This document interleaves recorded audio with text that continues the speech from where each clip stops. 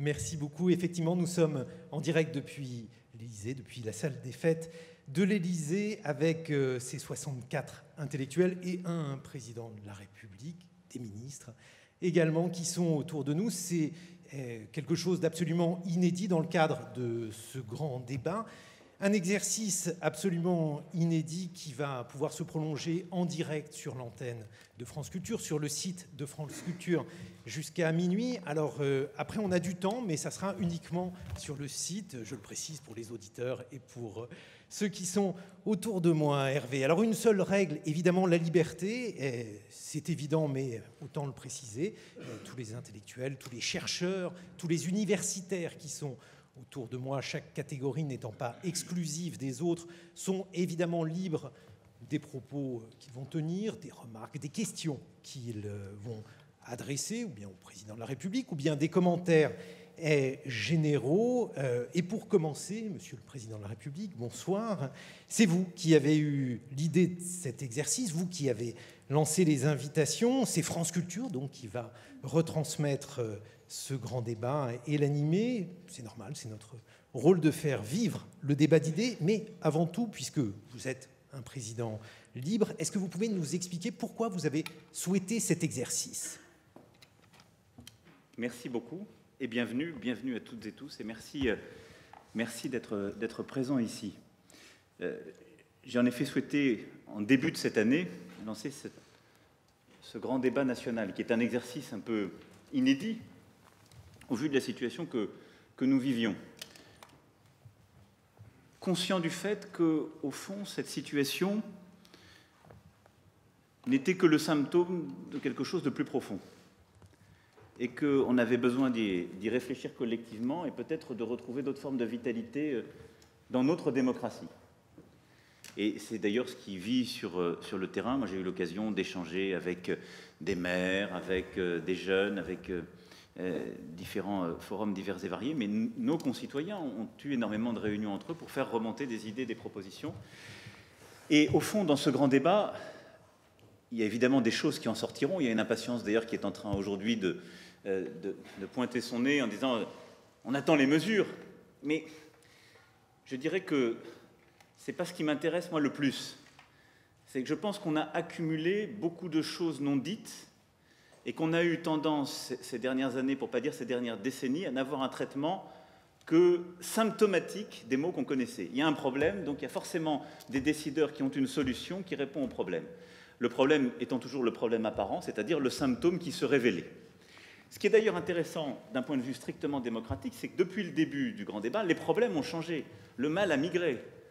Le symptôme au début n'était que le pouvoir d'achat, ensuite c'est devenu euh, uniquement démocratique, et ce fut le RIC, et puis c'est devenu d'autres sujets. Certains ont dit, vous voyez bien que le sujet n'est plus environnemental. Dans le débat, et au-delà même du débat dans beaucoup d'autres pays, le sujet environnemental revient. Et donc on voit bien que le mal est plus profond, et que ce qu'il y a derrière les symptômes, c'est quelque chose qu'il nous faut caractériser, qui est une des sources du malheur français. Alors est-ce qu'il est strictement politique? Est-ce qu'il est, euh, d'ailleurs strictement français? Je ne crois pas. Est-ce qu'il est peut-être civilisationnel, en tout cas très profond Je le crois. Et donc, pour moi, ce que nous sommes en train de faire collectivement, c'est de redéfinir un projet national et européen. C'est ce que nous devons faire. Et donc, dans ce cadre, il me semblait nécessaire qu'il puisse y avoir un échange, comme celui que nous avons aujourd'hui, avec, euh, vous, donc des intellectuels. On n'ose plus prononcer ce mot parfois, on m'a beaucoup reproché d'utiliser, c'est-à-dire des femmes et des hommes qui sont à la fois engagés dans leur discipline, sur le plan de la recherche, de l'université, de leur activité euh, académique, qui publiaient, enseignaient, euh, cherchaient, etc., mais qui sont aussi, du coup, dans la cité.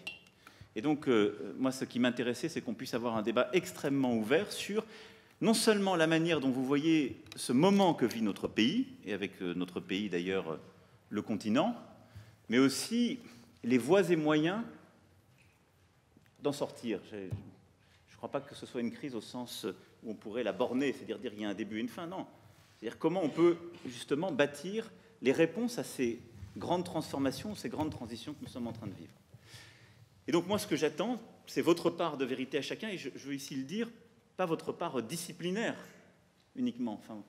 Euh, chacune et chacun a évidemment euh, une légitimité qui s'inscrit dans une, discipline académique qui fait qu'il est là au début. Mais pour moi, vous êtes tous des femmes et des hommes qui sont nourris parce que cette discipline a apporté, donc qui ont un regard sur la société dans laquelle nous vivons. Et donc, ce qui m'importe, c'est d'avoir votre regard sur voilà, ce que vit aujourd'hui la France, comment vous le caractériseriez profondément au-delà des symptômes évidents, et surtout comment tirer les fils qui permettent de reconstruire à vos yeux ce projet national et européen.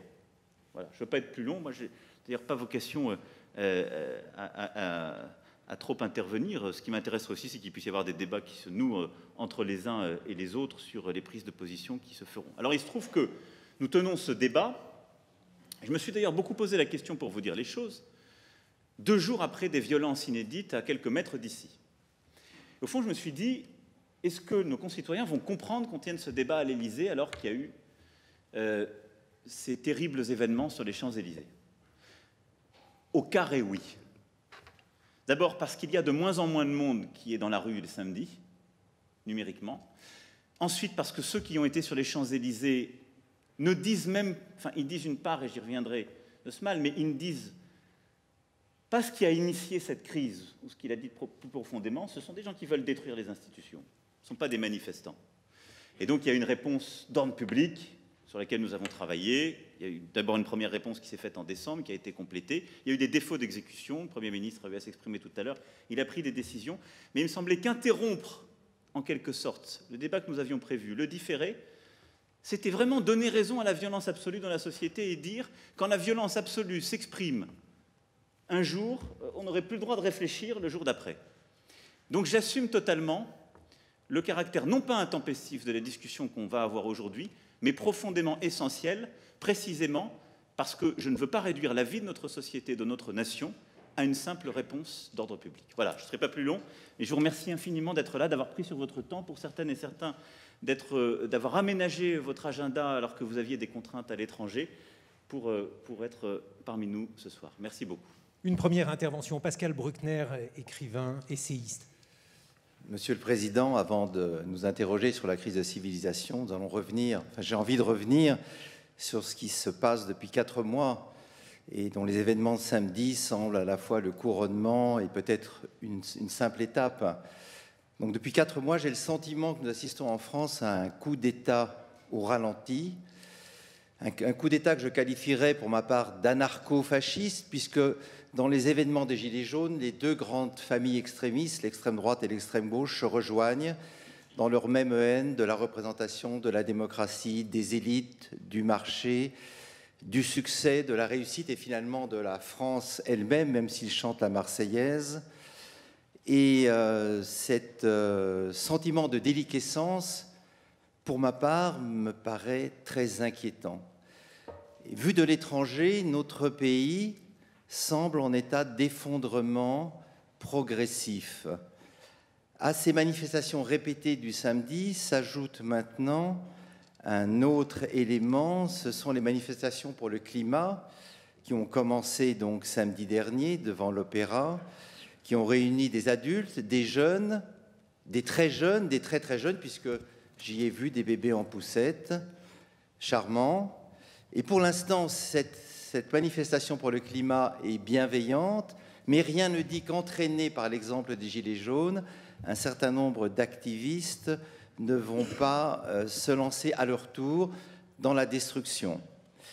Et euh, la question qu'on se pose en tant que citoyen, c'est est-ce qu'on peut avoir en France, aujourd'hui en 2019, une semaine sans grève, une semaine sans défilé dans la rue, une, semaine sans manifestation, sans voiture incendiée, sans banque pillée, sans magasin détruit.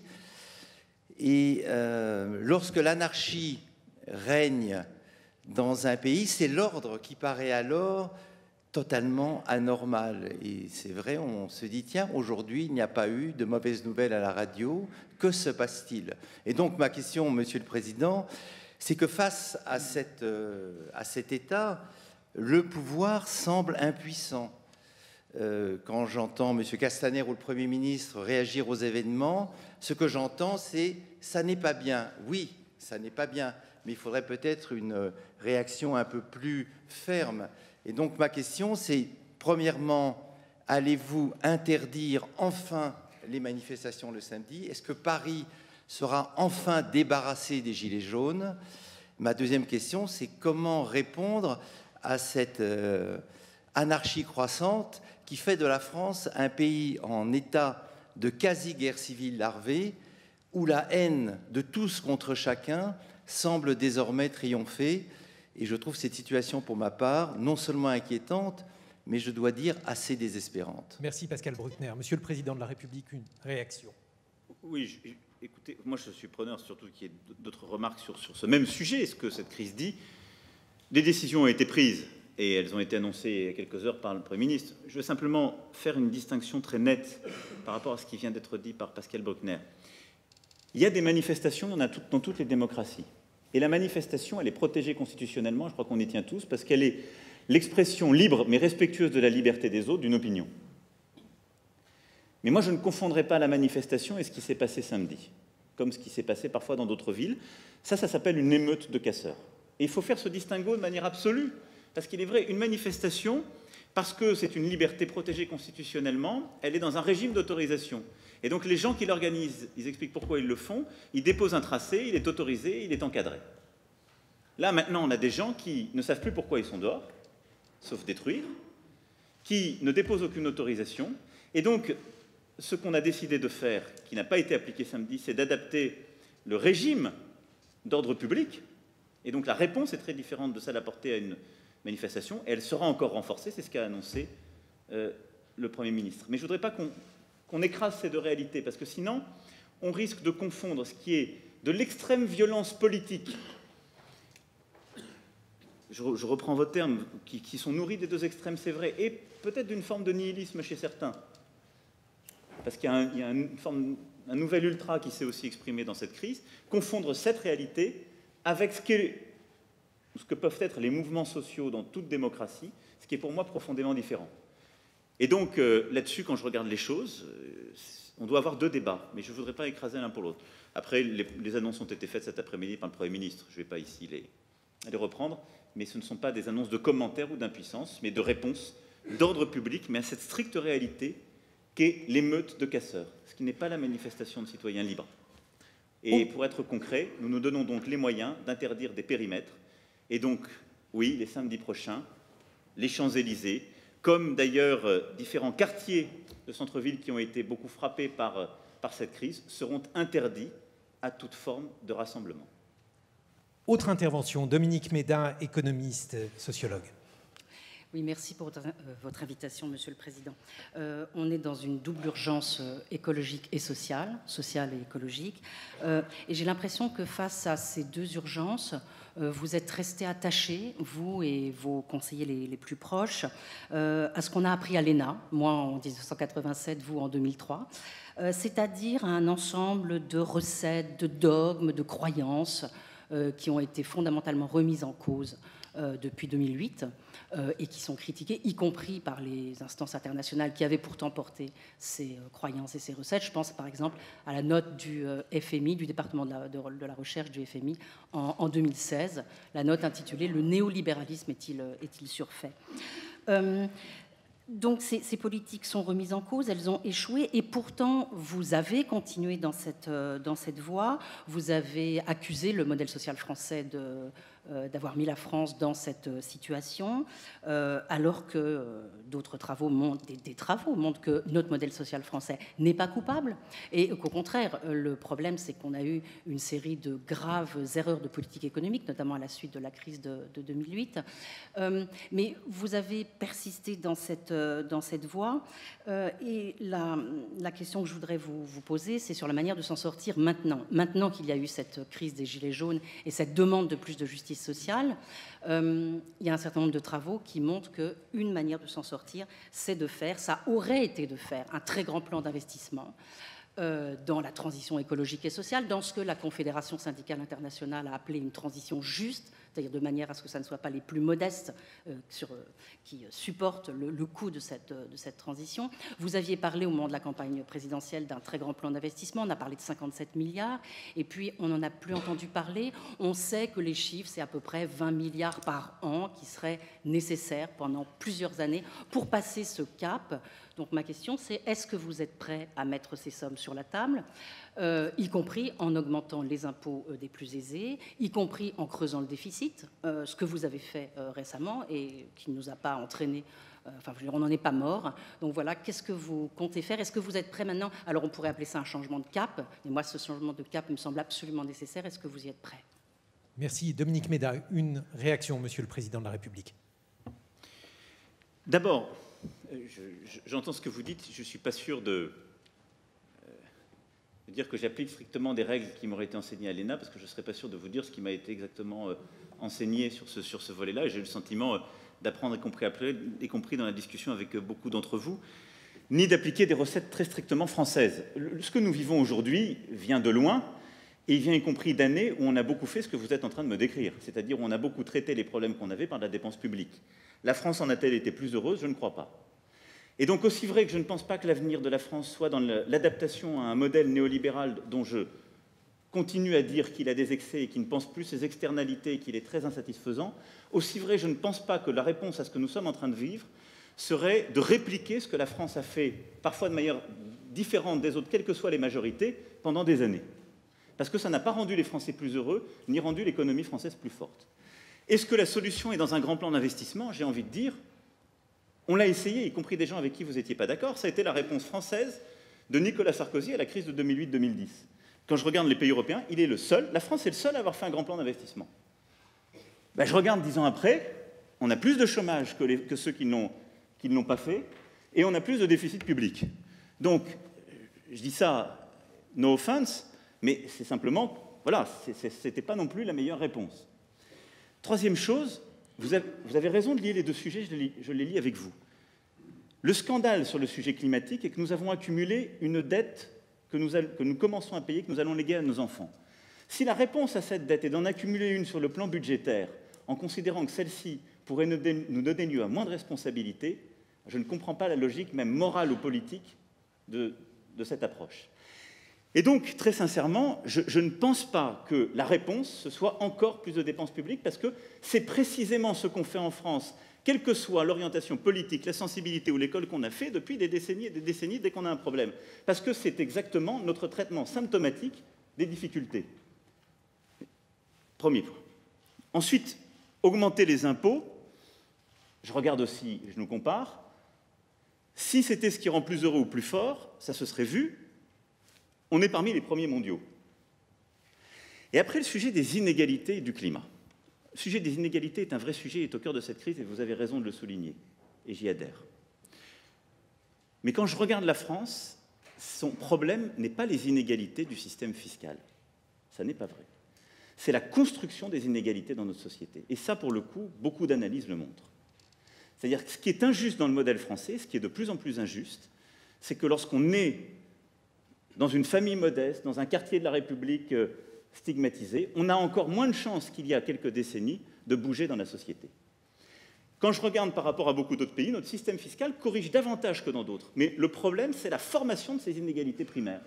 Et donc moi, ce qui m'importe, c'est peut-être d'aller beaucoup plus loin que ce qu'on a fait sur la constitution de ces inégalités primaires. Politique éducative et universitaire, dans notre politique du travail, etc. Je pense que c'est beaucoup plus là que dans la, corruption correction de ces inégalités par l'impôt. Enfin, l'urgence climatique, vous avez raison, je pense qu'on a apporté des premières réponses, je pense qu'il faut aller beaucoup plus loin derrière. Et qu'une des sorties, en tout cas, de, la crise que nous vivons, doit être la conjugaison d'une réponse euh, euh, sociale et environnementale. Vous l'avez compris, je ne pense pas que ce soit uniquement en creusant un matin de la dépense euh, sociale en plus. Par contre, ça peut être en réorientant beaucoup d'investissements, ça peut être en changeant profondément aussi de politique européenne, qui à mes yeux n'a pas suffisamment changé sur ce point, et en accélérant des transitions que nous sommes en train de faire. Mais là-dessus, je pense que si on a fait une erreur, c'est d'avoir une transition qui n'était pas assez visible, et en tout cas qui n'a pas articulé suffisamment clairement les changements productifs ou euh, d'organisation profonde qu'impliquait euh, la réponse climatique avec le social. Et donc on a placé une catégorie de nos concitoyens dans une impossibilité de faire, voire une stigmatisation, ce qui a été une erreur. Et donc ça, il faut totalement repenser, au fond, un modèle de transition qui est environnemental et social, mais je ne pense pas que la réponse soit uniquement par l'impôt ou la, ou la dépense publique. Elle est par des mécanismes profonds. Et donc, au fond, moi je pense que ce que nous devons réussir à inventer dans notre pays et en Europe par rapport à ça, c'est nous des réponses de politique publique qui corrigent la formation des inégalités et une organisation de notre modèle productif et du capitalisme qui internalise beaucoup plus le fait environnemental et donc dans les choix d'investissement qui, qui favorisent la rentabilité de ces derniers beaucoup plus fortement. Peut-être sur la question des inégalités, Daniel Cohen, économiste. Monsieur le Président, bonsoir, merci de, de votre invitation. Pour prolonger un peu cette, cette discussion, euh, ce que je vous propose, c'est de, prendre peut-être un tout petit peu de recul sur les grandes transformations que le capitalisme contemporain est en train de, connaître, puisque au fond, ce dont on parle presque toujours, et certainement quand on essaie de comprendre les origines du malaise politique et social, c'est ce sentiment nouveau d'insécurité économique qui traverse, pour le coup, toutes les sociétés avancées, euh, la France et, tous les autres pays qui aujourd'hui sont soumis, on va dire, à la tentation euh, populiste. Euh, pour comprendre les sources de cette insécurité politique, euh, économique, il faut, je crois, essayer de prendre un tout petit peu de recul sur la façon dont le capitalisme contemporain est en train de se transformer. Nous comprenons tous, nous savons tous qu'il est en pleine mutation. Et au fond, la question, si on essaie de se projeter dans les 30 ou 50 prochaines années, qui était l'exercice qu'on m'avait demandé de, auquel on m'avait demandé de réfléchir au départ, on voit qu'il y a en réalité deux scénarios et que c'est très très difficile de savoir si on pourra avoir l'un ou l'autre et surtout si on pourra piloter euh, l'un pour éviter l'autre. Le premier euh, scénario, c'est le retour à une croissance inclusive, comme celle qu'on a connue euh, dans les 50 années, on va dire, euh, d'après-guerre, où tout monte en même temps, au même rythme, et au fond, tout ce qu'on a à faire, c'est gérer la prospérité, essayer de réfléchir à la meilleure façon d'en faire le meilleur usage. Il y a un autre scénario qui serait plutôt un scénario de retour à ce qui s'est observé, on va dire, au début du capitalisme, au début du 19e siècle, avec une formidable transition, une formidable mutation du capitalisme, mais sur fond de croissance très faible. Sans faire une leçon d'histoire économique, les, les économistes aujourd'hui qui sont revenus sur le taux de croissance de la première moitié du 19e siècle en Angleterre, par exemple, ont été étonnés de voir que les chiffres étaient très faibles entre 0,5 et 0,7%, alors même que la société était totalement en train de se transformer. Alors lequel des deux choisir? Évidemment, tout faire pour avoir le scénario A, mais si on est dans une période de transformation comme celle du scénario B, alors tout devient beaucoup plus compliqué et d'une certaine façon, on pourra toujours, bien entendu, essayer de faire un peu mieux que les autres, mais on sera entraîné dans, dans cette vague irrépressible. Alors les économistes, évidemment, sont très divisés sur la question de savoir si on peut parier sur le A ou sur le B, mais si on fait juste une observation, que pensent les marchés financiers de ces deux scénarios Si par exemple on regarde le coût de la dette à long terme de la France, à 50 ans, la France se finance à 50 ans à 1,7%, c'est-à-dire moins que l'inflation anticipée.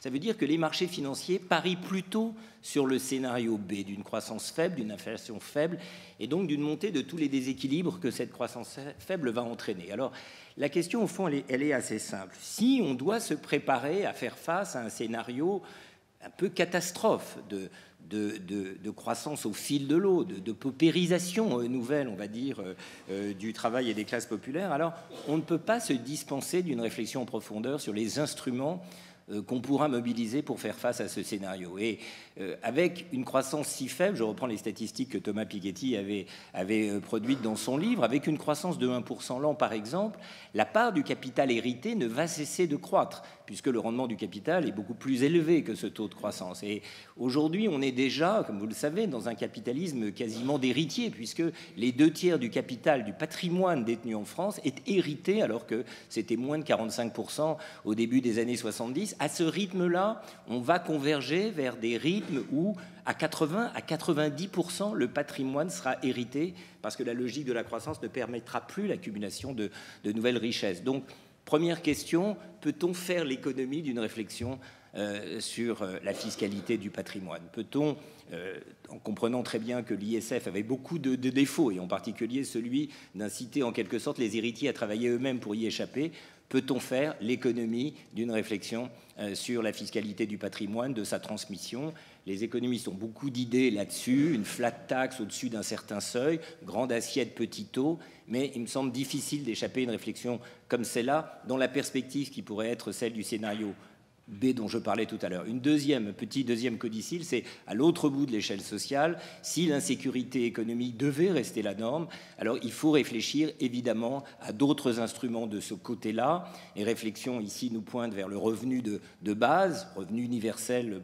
euh, pour, pour certains, et j'ai été un peu peiné de voir que les 18 départements qui avaient fait une proposition d'expérimentation sociale sur ce terrain n'ont pas pu la mener à leur terme. C'est dommage parce que c'était au fond la rencontre d'une expérimentation locale qui peut correspondre à une attente justement de démocratie participative. On essaye quelque chose et je crois que c'est vraiment au cœur de cette question de l'insécurité économique dont je parlais au départ. Merci. Daniel Cohen, une réponse, Monsieur le Président de la République.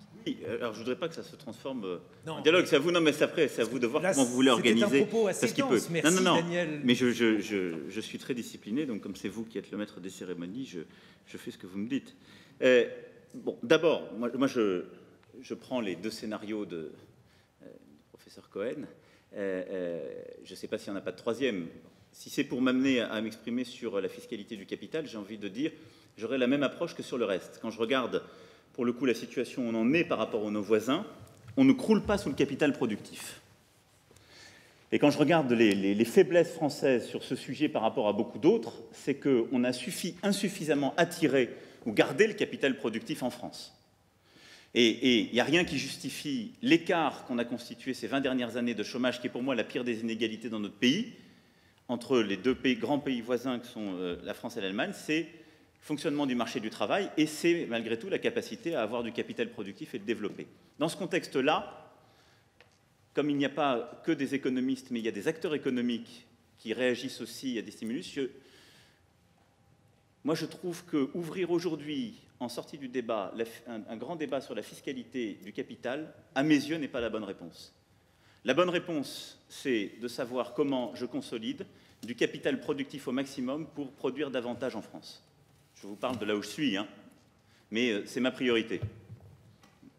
Ensuite, ce que je constate, c'est que les inégalités de dessin qui sont constituées, moi, je n'ai pas forcément envie de m'enfermer dans un scénario de faible croissance. Ce que je sais, c'est que les mêmes scénarios existaient il y a 20 ans sur des tables américaines, que certains ont fait ce choix, que d'autres en ont fait d'autres, et qu'on est dans une économie des talents, de l'hyperconcurrence. La question pour moi est aussi de savoir comment je forme en France les gens qui vont réussir dans cet univers de plus en plus compétitif à créer le maximum de richesses et en tout cas à construire des destins qui permettront dans notre pays de les construire.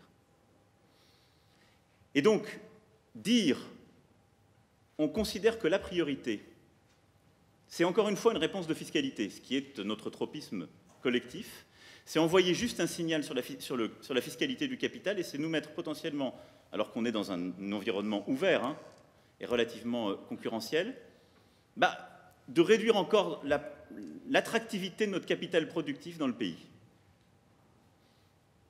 Je pense que c'est aujourd'hui pas ce dont souffre principalement l'économie française quand je la compare à ses voisins. Qu'on lance une grande réflexion internationale sur ce sujet, j'y suis totalement favorable. Que ça avance au niveau de l'OCDE, si on pense que c'est un sujet international, j'y suis tout à fait favorable. Le faire en France, je pense que ce sera un contre-signal. Moi, je, suis un peu pragmatique sur ce sujet du grand débat. Hein. Je pense que les mots sont profonds.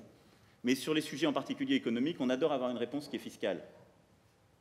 Je l'ai dit deux, trois fois à nos concitoyens, on est rentré dans ce débat, c'était le déclencheur, c'est beaucoup plus profond le mal, mais sur une taxe que payaient trop certains. Je ne crois pas qu'on en sorte en en faisant payer d'autres. Et je ne parle pas des débats qu'on a pu avoir dans notre passé, on est rapidement riche, même ceux qui ne pensent pas l'être. Et nous sommes dans un pays où, sur ces sujets, les signaux qu'on peut envoyer sont vite contraires. Donc, avoir un débat à l'international sur les transformations du capitalisme, faire avancer au niveau OCDE un meilleur fonctionnement de la transmission du capital, oui. Mettre en France un système qui, sur ce sujet, soit à la pointe technologique, moi, j'y suis pas favorable parce que je pense que notre faiblesse aujourd'hui, elle est plutôt dans notre incapacité à attirer, à consolider du capital productif qui crée des emplois. Parce que moi, je ne sais pas créer aujourd'hui des emplois autrement qu'en encourageant des gens ou à créer des entreprises ou à développer celles qu'ils ont créées. Parce que de l'emploi public, quand je me compare aux voisins, j'en ai déjà aussi beaucoup plus que les autres. Voilà, donc je suis un peu pragmatique sur ce sujet, mais je pense que ce ne soit pas le cœur de la réponse. Par contre, je suis très sensible à la problématique héritage et construction de son destin. Mais je ne pense pas qu'on y réponde là encore avant tout par la fiscalité. On y répond par l'émergence des talents. Ceux qui ont créé Google n'avaient pas de capital hérité. Mais ils ont eu un système où la mobilité sociale a mieux fonctionné que peut-être dans le nôtre. La question pour moi, c'est comment je vais faciliter la création de nouveaux capital par des talents, quelle que soit d'ailleurs leur origine sociale. Que ce soit d'ailleurs du capital financier, du capital productif, du capital humain, du capital de reconnaissance. Et mon problème aujourd'hui quand je regarde la France, c'est que la création de capital nouveau par des personnes qui viennent de milieux défavorisés, qui sont issus de l'immigration, qui viennent de certains quartiers, n'est pas suffisamment importante. Et ça, c'est un problème que j'ai dans mon système éducatif, dans mon enseignement supérieur et dans les représentations et les modes de fonctionnement que j'ai dans la société, y compris d'ailleurs dans le recrutement que, que j'ai euh, euh, au sein de l'État. Ensuite, sur le revenu universel de base, la belle affaire. J'ai, à l'automne dernier, annoncé la stratégie pauvreté. J'ai dit que j'étais favorable et que nous allions lancer un revenu universel d'activité. Alors, il avait des différences profondes avec ce revenu universel de base, qui était en effet l'idée plutôt proposée par Benoît Hamon dans la campagne présidentielle. C'est que c'était un système reposant beaucoup plus sur l'ouverture de droits, mais avec des devoirs. Et je crois d'ailleurs que notre société en a besoin, et qu'une partie d'ailleurs de ce qu'on peut voir, lire dans les tensions sociales qui existent aujourd'hui, c'est la tension qui existe entre les actifs pauvres et les non-actifs. Ce qui est un vrai sujet dans beaucoup d'endroits de la société. Et la, proposition qui était faite par les 18 départements ne répondait pas à ce sujet, alors que ce que le gouvernement a lancé et va commencer à expérimenter, conformément à un calendrier qui a été donné, y répondait. Et puis après, c'est une question de savoir qui est responsable de la politique sociale. Et donc, moi, je suis le premier à dire, on, va, on a commencé à le faire, on différencie, mais si on commence à dire, des départements peuvent rentrer dans cette logique, à ce moment-là, je peux aussi laisser ouvert d'autres départements qui vont rentrer dans une logique qui est la suppression du RSA, de la même manière. Je crois que les choix démocratiques dans notre pays font que c'est au niveau, pour le coup, de l'État-nation et donc du gouvernement et du Parlement qu'avance cette idée et elle peut être tentée à l'initiative du gouvernement et du Parlement pour être initiée ou testée selon plutôt des engagements qui ont été retenus par nos concitoyens de manière majoritaire que de revenir par le truchement de propositions qui ne correspondent pas en effet à la politique qui est aujourd'hui menée par le gouvernement. Pas du tout sur l'idée d'un revenu universel, mais sur les conditionnalités de celui-ci. Donc j'assume ce choix, parce que je pense qu'en méthode, sinon, Sinon, c'est un autre choix. On dit qu'il y a une décentralisation totale de la politique sociale. Mais ça veut dire quand on vote aux élections présidentielles ou législatives, on ne vote plus pour la politique sociale dans notre pays. Vous, votez pour la politique sociale quand vous votez pour votre président de, département et sa liste. Je ne crois pas que ce soit, ce soit ce que nos concitoyens aient retenu aujourd'hui. Il y a quelques économistes dans la salle. On va les faire réagir, peut-être aussi pour qu'ils nous donnent euh, leur diagnostic euh, sur la situation de la France et par rapport à, ce que vient de dire à la fois Daniel Cohen et euh, le président de la République, Philippe Aguillon. Oui, donc, donc, on a peu de temps. Donc je crois que, effectivement, pour assurer la progression du pouvoir d'achat, malgré une double contrainte démographique et climatique, il n'y a pas d'autre moyen que d'avoir une économie d'innovation. Donc il faut créer les moyens d'une économie qui incite à l'innovation et le faire d'une manière qui soit inclusive et qui pousse à l'innovation verte. Euh, je crois qu'une des choses qu'on a appris avec le mouvement, c'était que l'approche euh, au vert a été perçue comme un peu punitive, euh, avec la façon dont la taxe carbone avait été mise en place. Et, donc ça pousse à, se dire, voilà, il faut la taxe carbone, il faut, il faut peut-être la mettre euh, en place avec des modalités différentes, en tenant compte des fluctuations des, des prix, des prix euh, du carburant. Donc là, il y a eu des idées qui ont été émises. Et puis, je crois que de dire aussi, il y a des recherches qui ont été développées euh, qui sont alternatives, qui sont complémentaires de la taxe carbone. Par exemple, le rôle de l'investissement, de l'aide à l'innovation verte, évidemment. et puis, ce qu'on appelle la corporate social responsibility. C'est-à-dire que maintenant, il y a vraiment cette idée qu'on peut pousser les entreprises à devenir plus responsables. Et, là, il y a eu des idées intéressantes qui ont été émises. L'une, c'est l'idée que la concurrence peut aider. combiner la concurrence et euh, le fait que euh, les citoyens sont conscients du danger climatique, la combinaison des deux pousse euh, les entreprises à l'innovation verte. Voilà, donc ça, c'est un mélange de politique de concurrence et de politique d'éducation. Mais il y a eu aussi des idées très intéressantes par euh, un ami à moi, Patrick Bolton et d'autres, sur l'idée de climate, stress test. C'est l'idée de dire, eh bien, on propose un scénario climat adverse, par exemple un réchauffement plus rapide que prévu, une montée des eaux plus rapide que prévu, et, euh, et on regarde pour chaque entreprise qui est cotée, est-ce qu'elle fait face ou pas à ce risque et on peut réglementer les entreprises comme ça, c'est-à-dire, voilà, vous faites un certain nombre d'investissements, comment vous répondez à ces stress tests? Donc l'idée, c'est de dire, je vais utiliser les forces du marché, la, la concurrence, la réglementation, d'autres forces, et, on va être très innovant en matière de lutter contre le réchauffement climatique par-delà une taxe carbone qui, elle, serait plus intelligente. Donc je crois que là, c'est une chose dans laquelle on n'avait pas suffisamment réfléchi, je crois, au moment de la campagne. Comment, euh, pousser au vert, comment pousser à l'innovation verte, avec toute une série d'instruments auxquels on n'avait pas pensé avant.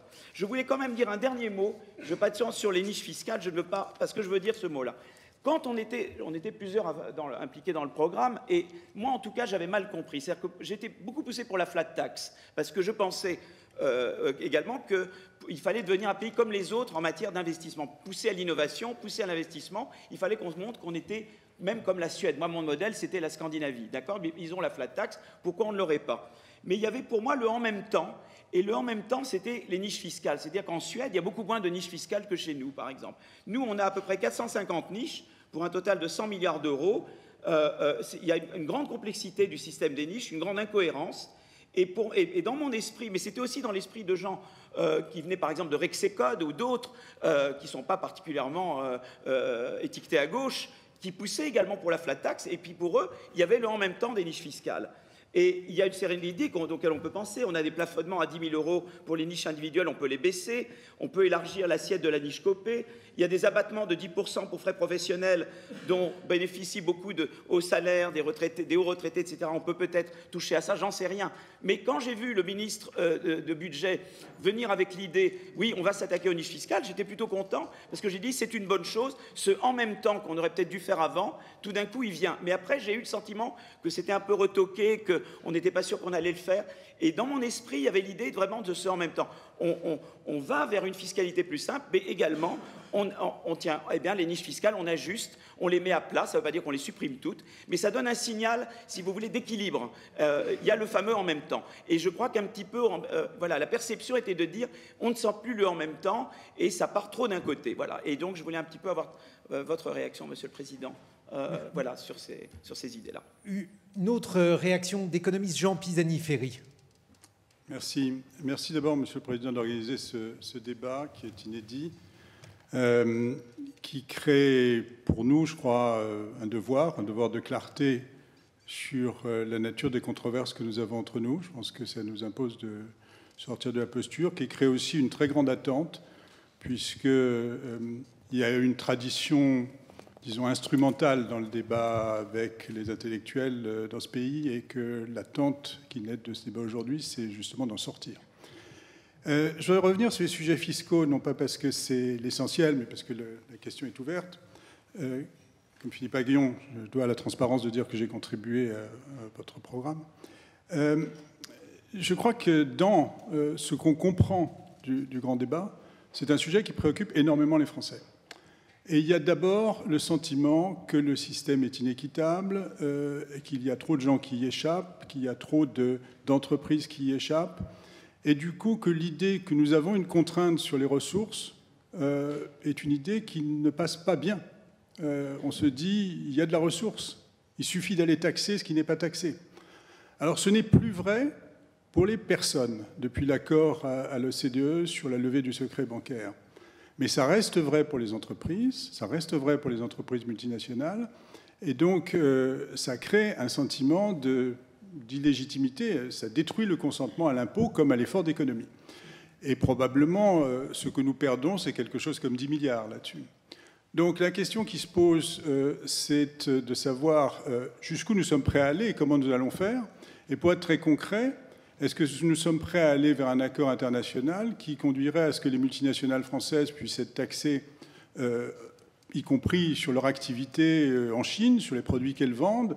Euh, Nous céderions des recettes fiscales à d'autres pays et en contrepartie, nous pourrions taxer des multinationales américaines qui interviennent chez nous. Autrement dit, la taxe GAFA est une toute petite réponse et très partielle à un problème beaucoup plus large. Sur le point euh, de, l'équité que soulevait Philippe Aguillon, je voudrais revenir parce que, au fond, quand on regarde l'effet sur la répartition des mesures qui ont été prises et qui étaient nécessaires, je partage totalement l'idée que la fiscalité du capital était excessive, qu'elle était confiscatoire, qu'on avait des taux de prélèvement sur les revenus du capital qui pouvaient dépasser 100% et que c'était profondément anti-économique. Néanmoins, euh, l'effet sur la répartition, c'est que le 1% supérieur a gagné quelque chose comme 5-6 points de revenus euh, dans les mesures qui ont été prises. Et donc, traditionnellement, et c'est l'esprit de ce que disait Philippe Aguillon, les, réformes fiscales qui sont conduites dans ces cas-là conduisent à élargir les assiettes en même temps qu'on baisse les taux, de manière à, compenser euh, cet effet distributif. Ou alors, on considère que le 1% supérieur avait été surtaxé, et effectivement, il avait été beaucoup taxé dans la période 2010-2014, et que c'est une restitution, mais à ce moment-là, ceux qui sont immédiatement après, euh, et qui n'ont pas bénéficié de ces mesures, ou très peu bénéficié de ces mesures sur l'allègement de la fiscalité du capital, vont demander leur dû en disant pourquoi pas nous? Donc il me semble qu'il y a une question sur la réponse, non pas sur la philosophie de la taxation du capital, mais sur l'effet distributif. Dernier point sur la fiscalité, je pense qu'il y a une très grande euh, question aussi sur le, vieillissement de notre système fiscal euh, et la complexité. On a un impôt sur les successions qui quand même euh, sent bon le 19e siècle. On a un, impôt local qui, dont les bases fiscales datent des années 60 ou des années 70. On a un impôt sur le revenu qui est extrêmement complexe. Euh, on a en fait deux impôts sur le revenu avec la CSG et l'impôt sur le revenu, et, euh, qui donnent lieu à des débats surréalistes sur le thème pourquoi est-ce qu'on ne ferait pas payer à tout le monde l'impôt sur le revenu alors que tout le monde paye déjà la CSG. Donc il y a une question, je ne crois pas du tout au grand soir fiscal et au fait qu'on puisse lancer les choses pour euh, la prochaine loi de finances, mais est-ce qu'il ne faut pas engager quelques chantiers sur la modernisation de notre système fiscal On va prendre deux autres interventions d'économistes. Yann Algan. Merci, Monsieur le Président, pour euh, votre invitation. Je ne voudrais pas que la conversation soit mobilisée par les économistes au départ, donc je vais poser une question de non-économiste, euh, Monsieur le Président. Euh, je partage avec vous le constat que cette crise n'est pas spécifiquement française, elle n'est pas uniquement économique, elle est vraiment civilisationnelle. Et le mouvement des Gilets jaunes montre que, certes, le pouvoir d'achat est une question importante, mais elle est aussi la manifestation d'une très forte euh, solitude, d'une solitude euh, sociale dans les formes de travail, une solitude aussi euh, territoriale et d'un rapport dégradé aux autres, aux institutions, avec de nouvelles formes d'aspiration. Donc comment est-ce qu'on reconstruit des politiques lorsqu'on passe d'une société de classe sociale à une société de masse ou à une société d'individus Et je prends deux exemples euh, précis. Tout d'abord, si euh, la transformation des modes de travail vers des sociétés de services beaucoup moins encadrées dans des entreprises, dans des formes traditionnelles de sociabilisation, euh, telles que le manifeste les Gilets jaunes, ce n'est pas un hasard si on retrouve surtout des routiers, des aides-soignants. gagner 2000 euros en étant routier, ce n'est pas la même chose que gagner 2000 euros et être ouvrier chez Michelin ou chez PSA. Donc comment, dans ce contexte, si c'est l'avenir du travail, comment reconstruire des corps intermédiaires et des nouvelles formes de socialisation au travail. De la même façon, euh, cette solitude territoriale qui s'est manifestée dans la diagonale du vide, du nord-est au sud-ouest, euh, euh, dans les Gilets jaunes et soutien aux Gilets jaunes, on constate une solitude pas uniquement vis-à-vis des services publics, mais peut-être aussi vis-à-vis de commerces, de bars PMU, de boucheries, de boulangeries. Et si euh, l'avenir euh, de nos sociétés est d'avoir une plus grande métropolisation. Comment est-ce qu'on fait pour maintenir des lieux de socialisation pour ceux qui ne peuvent ou qui ne souhaitent pas vivre dans ces très grandes villes? On continue sur l'économie Agathe Cagé.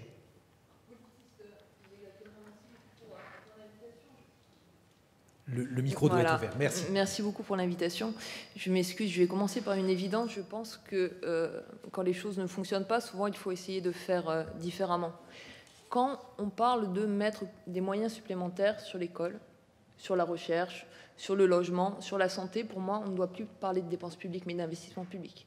Et ramener une demande et une discussion sur est-ce que je mets et où je mets des moyens supplémentaires sur l'école, sur la recherche, sur un certain nombre d'emplois à de la dépense publique, c'est finalement faire ce qu'on a toujours fait en termes de débat depuis des dizaines et des dizaines d'années, s'interroger sur notre niveau de dépense publique, comparer ce niveau de dépense publique à celui de nos voisins. Et ça aussi, c'est une technique qui ne fonctionne plus ou qui fonctionne relativement mal quand on dit il faut s'interroger aujourd'hui sur la taxation du patrimoine. Je ne pense pas qu'on soit en train d'agiter euh, le joujou de la fiscalité. On est en train de dire, vous disiez, Monsieur le Président, il faut travailler sur les inégalités primaires. La plus forte des inégalités primaires aujourd'hui est en train de devenir la possession ou non de patrimoine. Certes, les inventeurs de Google n'avaient pas de patrimoine à la base, mais aujourd'hui, vous ne pouvez pas inventer Google à Paris parce que vous ne pouvez juste pas vous loger à Paris. C'est une problématique. C'est une problématique extrêmement importante. Alors oui, il faut travailler sur la réduction des inégalités au niveau scolaire, il faut travailler à comment je mets plus de mixité sociale, plus de mixité scolaire dans l'école. Ça, c'est quelque chose d'important. Il faut travailler à la réduction des inégalités dans l'accès à l'emploi, mais il faut travailler sur ce sujet fondamental. Si aujourd'hui vous avez une partie de la population qui se voit transmettre un capital incommensurable par rapport au capital qu'a la grande majorité de la population. Vous ne pouvez pas demander à la grande majorité de la population de créer Google, de créer de l'emploi et d'aller au même niveau qu'une partie de la population qui commence avec tout, quand le reste de la population n'a pas, pas grand-chose, mais n'a absolument rien. Et sur la nécessité de changer, désolé de le dire comme ça, de logiciel, je pense la question du RUE, ce n'est pas de dire est-ce que le RUE qui a été développé dans les 18 départements était mieux ou moins bien que la mesure qui a été proposée dans le plan pauvreté du gouvernement. Pour moi, la question est de dire on avait quelque chose qui était né de l'expérimentation citoyenne. RIE, peut-être une définition. Le, le revenu universel d'existence. Vous aviez dans la Gironde des citoyens qui avaient travaillé pendant des semaines au niveau du département sur quel type d'expérimentation conduire. Ces citoyens ensuite s'étaient réunis dans des conférences de consensus. Vous aviez euh, le laboratoire d'évaluation des politiques publiques qui avait évalué les différents scénarios. Vous avez des politiques qui se sont engagés, qui sont allés jusqu'au Parlement en disant laissez-nous juste conduire cette expérimentation. Pas pour dire c'est la solution qu'il faudra imposer ensuite au niveau national, juste pour dire c'est né des citoyens. On a les chercheurs avec nous, essayons de faire différemment. Je pense qu'aujourd'hui, il faut conduire les politiques publiques différemment, en acceptant d'associer les citoyens, en acceptant d'associer les chercheurs, en conduisant un grand débat de manière occasionnelle, mais en essayant de travailler différemment sur le long terme et en acceptant de dire oui, bien sûr, la politique sociale, il faut la conduire au niveau de l'État, mais si des départements mobilisaient des milliers de citoyens pour essayer de tenter quelque chose, peut-être ne devons-nous pas le balayer de la main parce que c'est né du département et que ce n'est pas né euh, de la ligne qui avait gagné à l'élection présidentielle. Une réaction, Monsieur le Président, trois économistes, une politiste, des thèmes relatifs aux inégalités et à la fiscalité. Oui, je ne reviens pas sur ce qui a été, ce qui a été dit sur euh, euh, les différentes réponses euh, à la, aux, défis, aux défis climatiques, même si je pense, et ça rejoint, on n'a pas été au bout dans la discussion avec Dominique Méda, je pense malgré tout qu'il faut, qu'il faut en effet, il faut un moment des choix d'investissement lourds.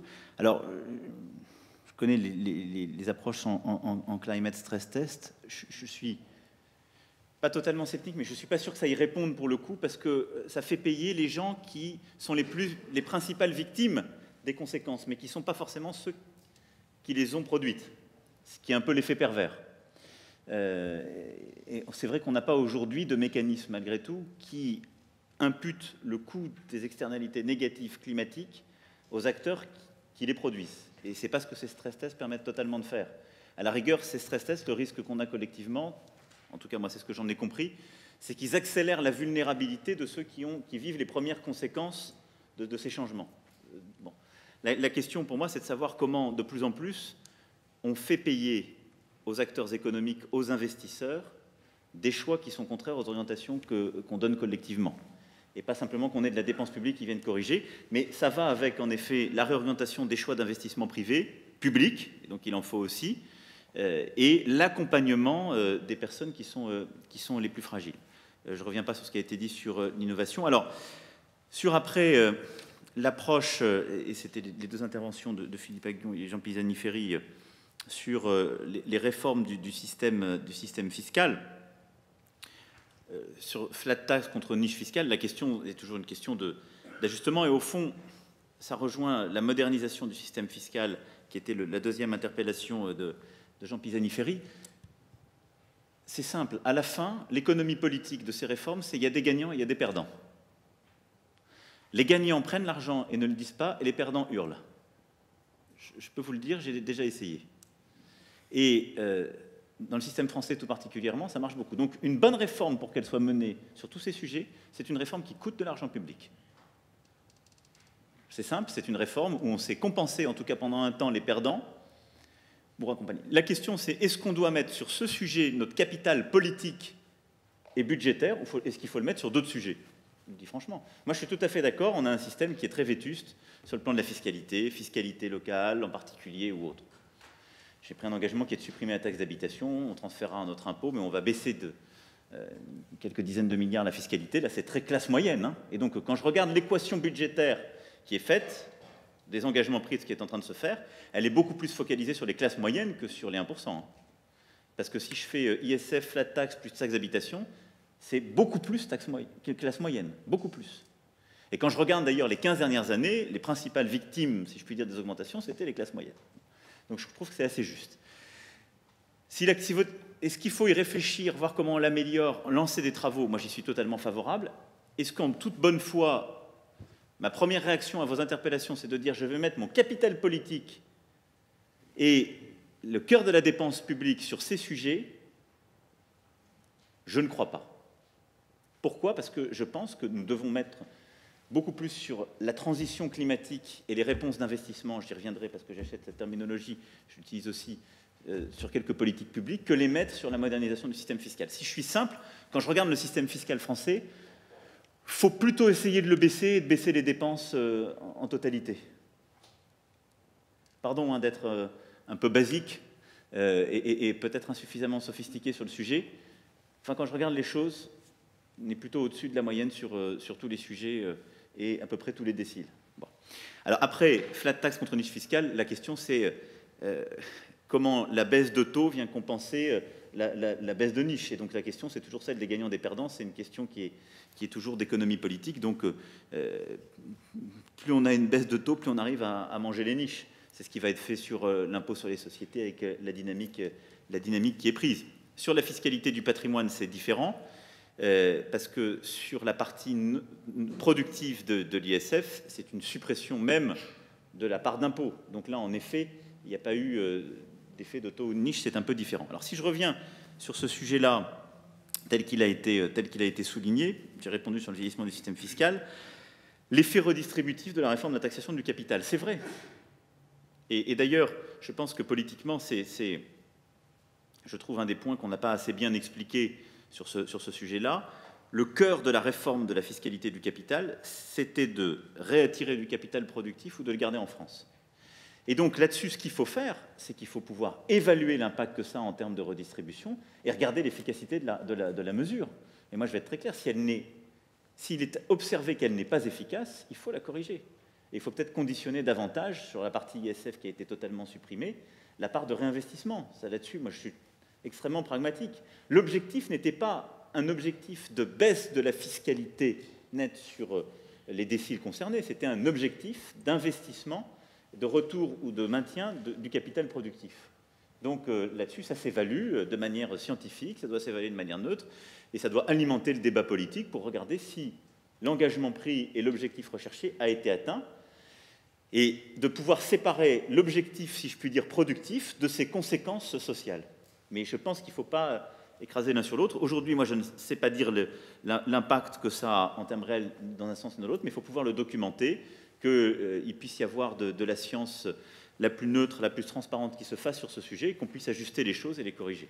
Ce qui veut dire, Monsieur le Président, que s'il est documenté, par exemple, il peut y avoir un bien retour partiel de l'ISF. Bien, ça veut dire qu'il il doit y avoir une évaluation qui soit scientifiquement faite et qui alimente d'ailleurs les travaux du Parlement sur ce sujet pour regarder l'efficacité productive de ce choix qui a été fait. Parce que cette évaluation, enfin, un certain nombre d'autres économistes, Gilles Berset, par exemple, sur l'évaluation de, l'ISF Non, sur ce point-là, je voulais juste dire, Monsieur le Président, que sur les, sur les évaluations, le, climat, le débat qu'on a à l'heure actuelle en France et celui que nous avons ici ce soir, euh, je dirais, amène peut-être en partie, euh, une bonne partie des effets favorables de ce qui a été engagé par la réforme de l'ISF il y a maintenant 18 mois, à ne pas se, produire.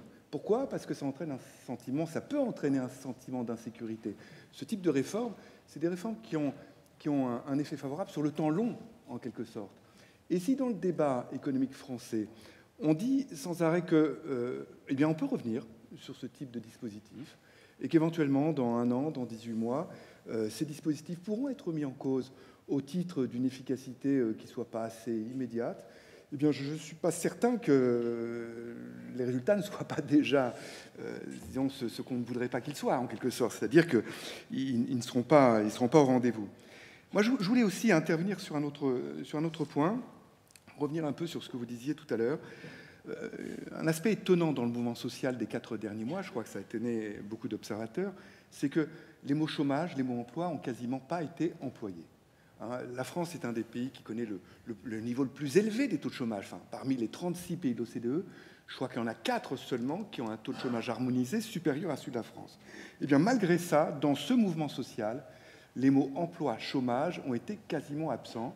Et sur le domaine, sur le terrain économique, on a surtout parlé de pouvoir d'achat. Quand on voit ce qui s'est passé dans d'autres pays sur les, sur les 15-20 dernières années, on voit généralement que les séquences sont beaucoup plus, beaucoup plus claires. Hein. Je ne parle pas simplement d'Allemagne, je parle également par exemple de la Finlande et, de, l'accord qui a été signé en 2016 et qui a amené un, rétablissement spectaculaire de, de ce pays-là. Généralement, il y a une séquence qui dit, bon, ben, dans un premier temps, on va privilégier peut-être euh, l'emploi, euh, la baisse du chômage, et puis le, pouvoir d'achat sera, je ne dirais pas une, priorité seconde, mais en tout cas, la priorité des priorités sera euh, l'emploi et la baisse du chômage.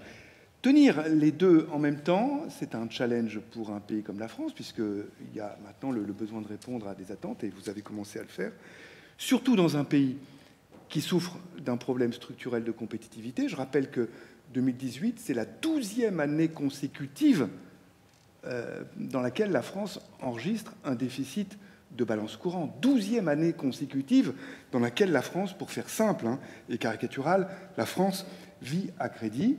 Et puis dans le contexte, évidemment, de préoccupations environnementales qui nous amènent à envisager de façon incontournable sur les prochaines années des dépenses importantes dans le domaine environnemental, sachant que dans ce domaine, on sait que les dépenses sont pour aujourd'hui, mais les rendements, les retours sont très décalés dans le temps. Très très décalés dans le temps. Donc comment tenir en quelque sorte cette équation miracle euh, qu'on n'a pas vu de, pays qui soit rétabli, qui, qui, l'ait tenu?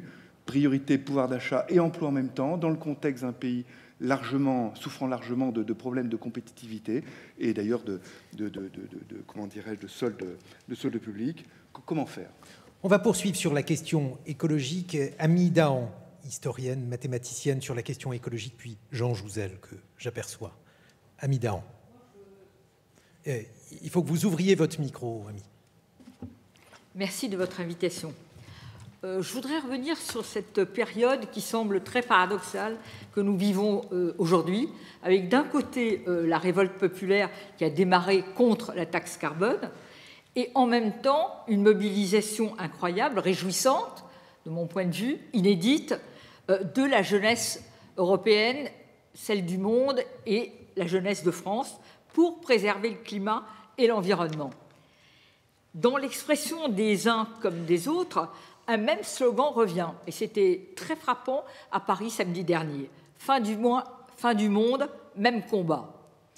Pour certains, cela veut dire que les problèmes sociaux et environnementaux ont une origine commune. C'est sans doute évidemment un peu trop simple. Mais finalement, qu'importe. Cela exprime en tout cas euh, le sentiment très fort qu'on ne peut avancer sur l'environnement sans s'occuper de social.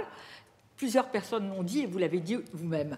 Euh, Nicolas Hulot l'avait bien perçu, je crois, en obtenant que son ministère soit celui de la transition écologique et solidaire. Bien sûr, il peut y avoir des contradictions entre tous ces objectifs, mais il y a aussi des synergies fortes. Par exemple, j'en donne juste un exemple précis. Euh, l'isolation thermique des bâtiments, un sujet majeur pour la réduction de nos émissions de gaz à effet de serre, qui réduit aussi la facture énergétique des ménages, notamment les plus euh, démunis, et devrait créer beaucoup d'emplois non délocalisables. Certains euh, de, nos voisins européens ont su industrialiser la rénovation thermique des bâtiments sur un rythme beaucoup plus soutenu que le nôtre. Pourquoi pas nous?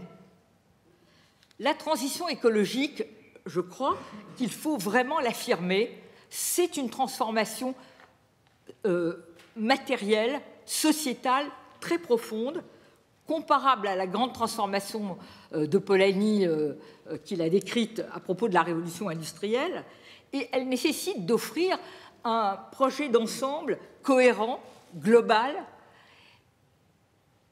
Permettez-moi de vous dire, Monsieur le Président, que j'ai trouvé que dans votre lettre aux Français, ce projet d'ensemble global n'apparaissait pas clairement, parce que euh, c'était une question parmi d'autres. Et puis, elle ne peut pas être abordée simplement par les modes euh, dans le cadre individualiste. Euh, la transformation, certes souhaitable, des habitus et des modes de vie est forcément contrainte par les infrastructures qu'offre le pays et aussi par les valeurs culturelles portées par le, pouvoir, la société, etc. Donc engager cette transformation aujourd'hui, c'est exprimer ce projet et y aller. Euh, engager cette transformation, c'est aussi, bien sûr, et là on rencontre ce qu'on a déjà, ce dont on a parlé avant, une affaire d'investissement dans l'efficacité énergétique, dans, euh, dans l'énergie renouvelable, dans l'agriculture bio ou l'alimentation saine. Je crois qu'il faudrait parvenir à généraliser, par exemple, le prêt à taux zéro pour tous les objets de la transition, que ce soit les pompes à chaleur, le véhicule électrique ou l'isolation. Des outils existent on en a parlé, comme la Banque centrale d'investissement, euh, la Banque européenne d'investissement, pardon, ou la Banque du climat, dont Jean Jouzel parlerait sûrement mieux que moi. Parce qu'il faut de l'argent pour décarboner l'économie, c'est vrai, beaucoup d'argent. Alors comment le trouver? En fait, on sait qu'il existe, il faut le flécher vers la transition écologique. Alors certaines euh, euh, certaines décisions, ne dépendent que de nous, Français, c'est-à-dire de vous, Monsieur le Président, et d'autres doivent être prises au niveau européen. Il faudrait parvenir à sortir les investissements de la transition écologique des critères de Maastricht et réussir à orienter l'argent de la BCE vers la transition énergétique. Je crois que c'est important que ce New Deal vert, c'est repenser en profondeur ce qu'est une dette pour se donner les moyens, les marges de manœuvre de l'investissement et repenser les catégories de la comptabilité publique, comme la commission Stiglitz l'avait suggéré il y a dix ans, pour répondre au défi majeur de notre temps, qui est la question climatique. Et en définitive, je voudrais terminer avec cela, il s'agit de relancer le projet européen par et pour la transition écologique et énergétique. Le seul thème susceptible peut-être de faire consensus en Europe, de lever les réticences de nos voisins les plus puissants euh, à l'égard d'une plus grande solidarité européenne. Et aussi, surtout, c'est le thème, aujourd'hui, parmi tous les autres, qui peut créer dans la jeunesse un nouvel enthousiasme pour le projet européen et faire obstacle au retour des nationalismes et à la montée des populismes. Ma génération, malheureusement, très représentée ici, a failli de ce point de vue je souhaite que la vôtre, Monsieur le Président, soit plus lucide et plus responsable. Merci. Merci, Ami Jean Jouzel, sur ce même thème. Monsieur le Président, euh, merci de votre invitation. Pas de surprise, je suis, je vais être très en phase d'ailleurs avec Ami Daon, même si on n'a pas préparé ensemble. Peut-être peut-être quand même utile, pas inutile complètement de redire la réalité du réchauffement climatique, que les quatre dernières années ont été des années records, que si vous voulez identifier les, 20 années les plus chaudes, il suffit de remonter de 22 ans.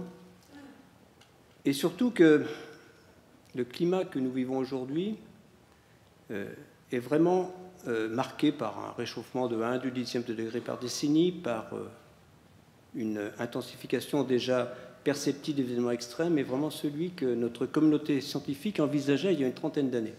Ça nous invite, je crois, à prendre au sérieux ce que cette communauté prévoit pour les années 2050 et au-delà. Hein, c'est un message très fort et bien sûr euh, les conséquences qui en résulteraient. Alors, prises dans leur ensemble, et c'est un point qui a déjà été euh, évoqué, ces conséquences se traduisent par un risque d'accroissement des inégalités. Entre pays pauvres et pays riches, bien entendu, nous en sommes conscients, mais aussi entre populations qui peuvent y faire face et celles qui ne peuvent pas le faire y compris dans des pays développés. C'est un point que nous avons mis euh, en avant dès 2017, d'ailleurs, dans un avis du Conseil économique, social et environnemental, en soulignant les inégalités qui peuvent résulter de certaines mesures destinées à lutter contre le réchauffement climatique, Un exemple est celui de l'augmentation de la taxe carbone à l'origine du mouvement des Gilets jaunes. Donc cette dimension sociale vaut pour l'ensemble des, problèmes environnementaux, comme l'illustre, je crois, l'analyse des différents objectifs du développement durable. C'est d'ailleurs cette dimension sociale que le pape François a mis en avant lors d'une audition qu'il nous a récemment accordée à Pierre Laroutourou et à moi-même, euh, en vue de lui présenter euh, l'initiative d'impact euh, finance-climat européen. Cette initiative, elle part effectivement d'un constat que Abidjan a déjà fait, d'un constat largement partagé. La lutte contre le réchauffement climatique, le respect des objectifs de l'accord de Paris implique des investissements extrêmement importants. Et là, je ne parle pas uniquement, bien sûr, d'investissements publics, hein, de l'ordre de 1000 milliards d'euros chaque année au niveau européen et ce, dans des domaines tels que la mobilité, le bâtiment et l'urbanisme, l'énergie, l'industrie, l'agriculture, l'alimentation, avec à la clé de nombreuses créations d'emplois et un dynamisme économique pour les pays qui s'engagent dans cette transition énergétique et écologique. Et par rapport, je crois, à Gilles Berset, je dirais quand même que les investissements qu'on fait pour la transition énergétique, ils peuvent aussi rendre euh, tout de suite c'est pas simplement rendre, effectivement, en matière de climat, mais en matière d'activité économique, je crois qu'ils peuvent bénéficier, enfin, qu'ils peuvent apporter quelque chose très rapidement. Alors, Monsieur le Président, dans une récente tribune, vous avez proposé la, euh, la, création d'une banque européenne pour le climat, qui est mentionnée dans notre pacte. Nous y avons euh, ajouté pour la biodiversité. En outre, ce pacte inclut un, budget européen dédié, d'ailleurs, hypothèse que vous aviez évoquée lors d'un discours de la Sorbonne et, la signature d'un traité européen, la mise en place. Au niveau mondial, la France est par ailleurs impliquée avec la Jamaïque dans la définition de la stratégie de financement de la lutte contre le réchauffement climatique et l'adaptation. Donc, quelles pourraient être, Monsieur le Président, les, prochaines étapes euh, conduisant à la création de cette Banque européenne pour le climat et au-delà euh, d'une véritable politique ambitieuse de lutte contre le réchauffement climatique et l'adaptation au niveau européen, évidemment au niveau mondial? Euh, je crois qu'il y va euh, d'un développement harmonieux de notre continent à l'horizon des prochaines décennies. Merci Jean Jouzel. Une autre intervention sur ce même thème par une économiste, Claudia Sénic. Merci.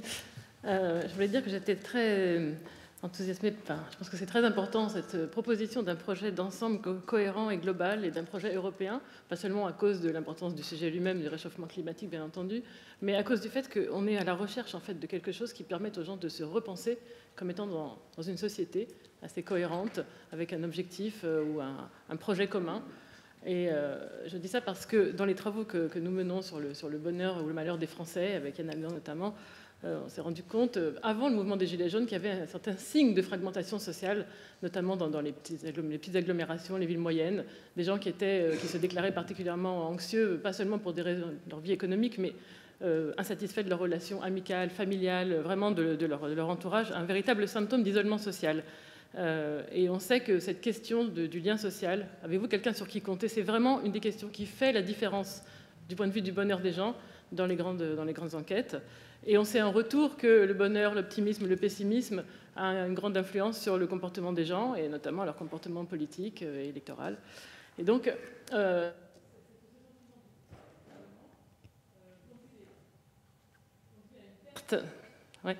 conduit à une, à une, perte de euh, représentation de soi comme étant intégrée dans une instance intermédiaire qui elle-même après va se composer avec d'autres pour former société.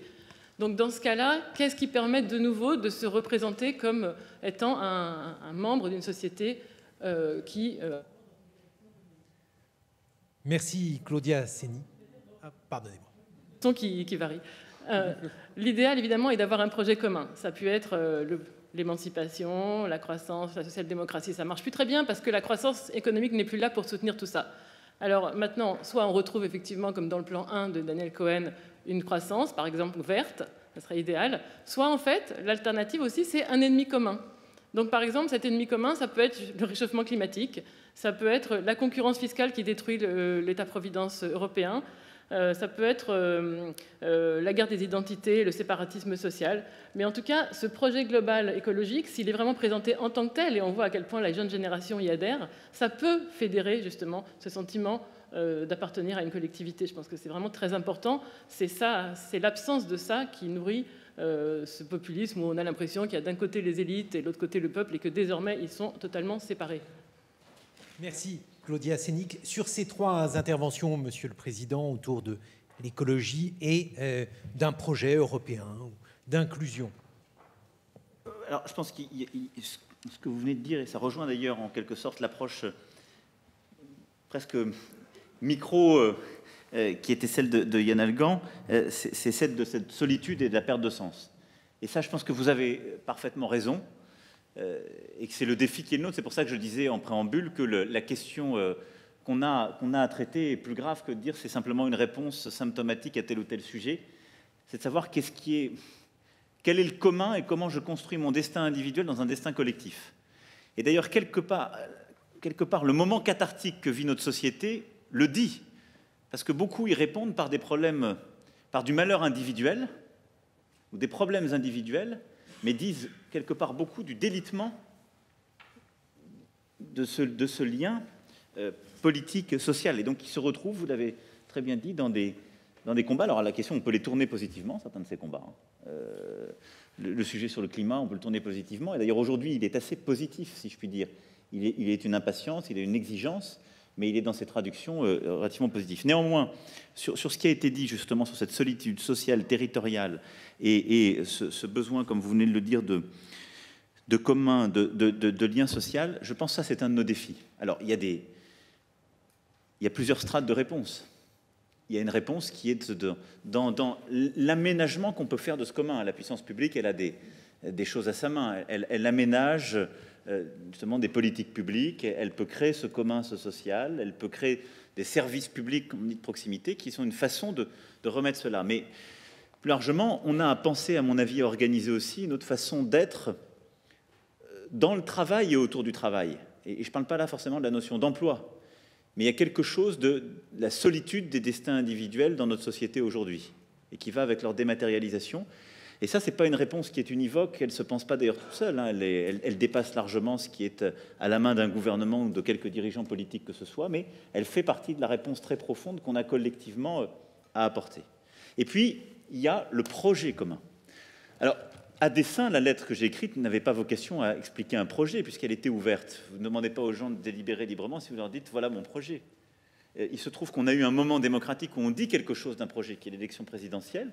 Je pense que là, paradoxalement, on vit quelque chose de plus profond que ce qu'on connaît dans une élection présidentielle, de moins normé. Donc on a inventé cette, cette à, ciel ouvert, si je puis dire, mais c'est la définition d'un projet. Mais l'aurais-je défini comme on aurait dit, bah, il est bien sympathique, il nous demande de venir débattre, il a déjà son projet. Je, je nous connais maintenant. Donc, je pense qu'il était important d'assumer cette part d'indétermination et de continuer à l'assumer. Parce qu'il et d'ailleurs, on voit bien dans ce qu'on est en train de se dire, moi j'assume la part approximative de certaines réponses. Tout n'est pas réductible à des réponses de, politique publique. Néanmoins, moi je, je l'ai dit en introduction, je crois qu'il y a un besoin projet national européen, c'est-à-dire de dire notre part de sens du moment que nous vivons. Et ce qui est vrai, c'est que nous sommes une nation éminemment politique, et donc je pense que nous sommes un pays où nos concitoyens, au fond, sont heureux quand ils bâtissent leur destin individuel sur quelque chose du destin collectif. Et donc le fait de ne pas comprendre où on va collectivement, de se dire, au fond, demain sera moins bien qu'aujourd'hui, pour moi-même et pour mes enfants, euh, et, nourrit ce malheur. Et donc la question, c'est comment on arrive non seulement à définir les objectifs vers lesquels on va, mais à montrer qu'on a suffisamment de monde qu'on emmène vers ces objectifs, mais à construire le, chemin de crédibilité, la philosophie qui emmène tout le monde euh, sur ce point. Alors dans ce contexte-là, il est évident que le climat, il est aujourd'hui pris, vous l'avez dit, mais même dans nos débats, dans la manière, on, l'aborde d'une manière anxiogène. Alors, elle est anxiogène pour faire réagir les décideurs, mais il est clair que le concitoyen qui nous écoute sur ce sujet ne peut pas dire ça va être quelque chose de super, je vais me projeter, ça va me permettre de construire mon bonheur individuel et collectif. Vous, vous le voyez moi je pense que je l'entrevois et ça suppose de contrecarrer beaucoup d'intérêts en place, mais je pense qu'on a nous-mêmes à reconstruire une forme de projection politique de ce qu'est, euh, et de discours du coup peut-être plus positif, de, de, ce qu'est justement ce combat climatique. Si on dit juste on est tous foutus, on va mourir et ça va pas assez vite, et euh, moi je suis, un, combattant encore plus vrai de ce sujet parce que vraiment euh, je trouve que vous n'allez pas assez vite, la fin, tout le monde se dit on n'y arrivera pas. moi, je crois profondément qu'on peut, euh, qu'on peut le réussir, qu'on ne va aujourd'hui pas suffisamment rapidement dans cette transition. Et donc, pour reprendre ce que vous avez dit euh, l'un et l'autre, qu'on a une dynamique, en effet, euh, nationale, européenne et internationale. Sur le national, on a commencé. Moi, je partage vos points très pragmatiques sur ce qui ne va pas assez vite et qui sont des vrais leviers de cette, de cette écologie totalement positive. C'est-à-dire que c'est un levier de création d'emplois, de secteur d'activité, Simplement, il faut pivoter une partie du modèle. Et donc, c'est ça qui prend un peu de temps, mais qui suppose de donner, je pense ce qui a été dit, de la visibilité et de la confiance aux gens. C'est la grande difficulté du moment. C'est qu'on a un moment où on, est, on reconçoit à ciel ouvert un modèle, mais on doit donner suffisamment de confiance à un moment de sortie, même s'il n'y a pas l'unanimité, pour que les gens qui s'engagent sur ces nouveaux choix disent ils vont les tenir. Et que ça, ne, bascule pas euh, en, en permanence. Après, moi je pense que le cœur de cette bataille aujourd'hui est, euh, est, européen, parce que c'est un espace pertinent. Je pense que c'est là où on a réussi à inventer l'économie sociale de marché, des équilibres sociaux et économiques euh, qui ont structuré justement euh, ces derniers siècles. Et donc je pense que c'est là qu'on peut inventer cet espace justement d'une transition environnementale accélérée. Alors, la banque du climat en est une, c'est votre idée, hein, je ne fais que la reprendre. Je pense que l'idée de cette banque du climat, au fond, c'est d'appuyer sur deux instruments qu'on a. On a la BEI, qui doit être transformée, la Banque européenne d'investissement, qui doit être beaucoup plus mobilisée sur ce type d'investissement. Et donc ça, c'est un choix, on revient sur ce qu'on disait, de, là où on met le capital public, les, systèmes de garantie de subvention publique, pour orienter ensuite des choix privés. Et puis, on a un vrai débat à avoir, qui est qu'est-ce qu'on met comme objectif au sein de notre banque centrale? Et est-ce qu'on pense qu'il y a euh, euh, un débat à avoir sur la bonne orientation de certains mécanismes de financement Et donc comment, dans les critères même du système bancaire, on décide d'orienter euh, justement les différents modèles la bonne allocation du capital et des financements Est-ce qu'on veut favoriser certains types de financements en considérant qu'ils sont préférables C'est un débat là qu'il faut avoir. Ensuite, au niveau européen, ce qui nous permettra d'accélérer, c'est de monter le prix du carbone beaucoup plus fortement. Moi, j'y suis très favorable, c'est la position qu'on défendra sur ce sujet, c'est-à-dire que c'est d'accepter qu'on va vers un modèle où l'investissement productif doit prendre en compte ses impacts sur le climat. Et donc, quand on investit dans quelque chose qui produit du CO2, ben, on doit être taxé, beaucoup plus qu'on ne l'est aujourd'hui. Alors, il y a énormément là d'intérêts constitués qui sont contre. Il n'y a pas de consensus européen sur ce point, il ne faut pas se tromper. Mais je pense que c'est un combat qu'on doit mener et qu'on doit mener là aussi à ciel ouvert si on veut pouvoir le gagner, parce que c'est un vrai levier de transformation et il doit s'accompagner d'une taxe aux frontières sur le CO2. Parce que si on veut préserver et articuler les deux, c'est pour ça que je serais moins pessimiste que Gilbert Sett, il faut, avoir des bons mécanismes. Et en effet, on ne peut pas dire on emmène nos entreprises et nos citoyens dans une transformation, mais on considère qu'on euh, reste un espace totalement ouvert et aveugle sur euh, nos préférences commerciales. Je crois que si on rentre dans cette logique de transition, on doit dire, dans ces cas-là, on fait payer cette taxe aux frontières aux acteurs industriels chinois, indiens, russes, qui, eux, ne taxent pas leur production comme nous, on la taxe sur le CO2. Et puis après, moi, je pense qu'au niveau euh, international, on peut bouger les choses. Vous avez parlé de, combats à mener sur la biodiversité. On a des, échéances importantes en 2020 et on a la réorientation de notre modèle. Le rendez-vous qu'on a en septembre prochain euh, avec euh, le Premier ministre jamaïcain sur le mandat qui nous a été donné par le, secrétaire général des Nations Unies, c'est au fond comment réussir à articuler au niveau mondial la, la justice sociale et, contributive à la justice climatique. Il y aura une partie d'argent public là aussi, mais la clé, c'est comment on réoriente les vrais investisseurs internationaux sur des choix qui permettent ces réorientations. Parce que le cœur des liquidités et des capacités d'investissement, ils sont dans le système financier, dans les asset managers, dans les fonds. Et donc ça, on commence à le faire.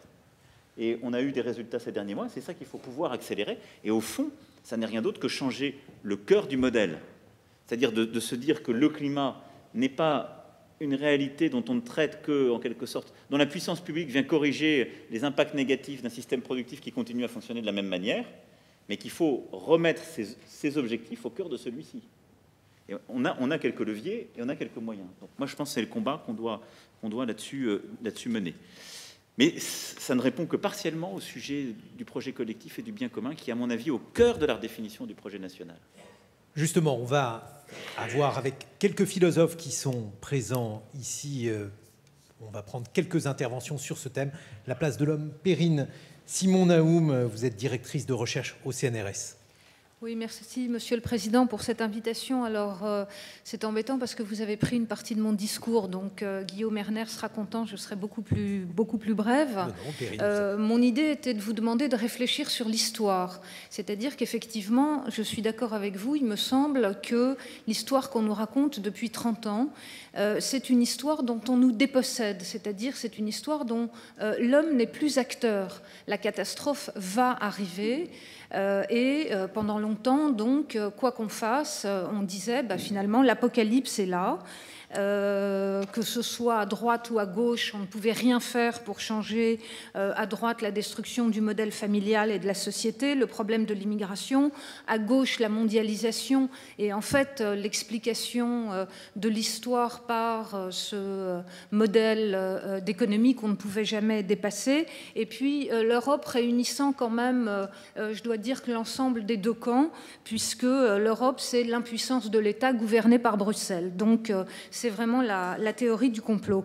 Alors je suis tout à fait d'accord avec vous, il faut réinventer le récit et je dois dire que je serais un tout petit peu moins optimiste, mais euh, je suis beaucoup moins spécialiste que donc euh, nos deux interlocuteurs précédents.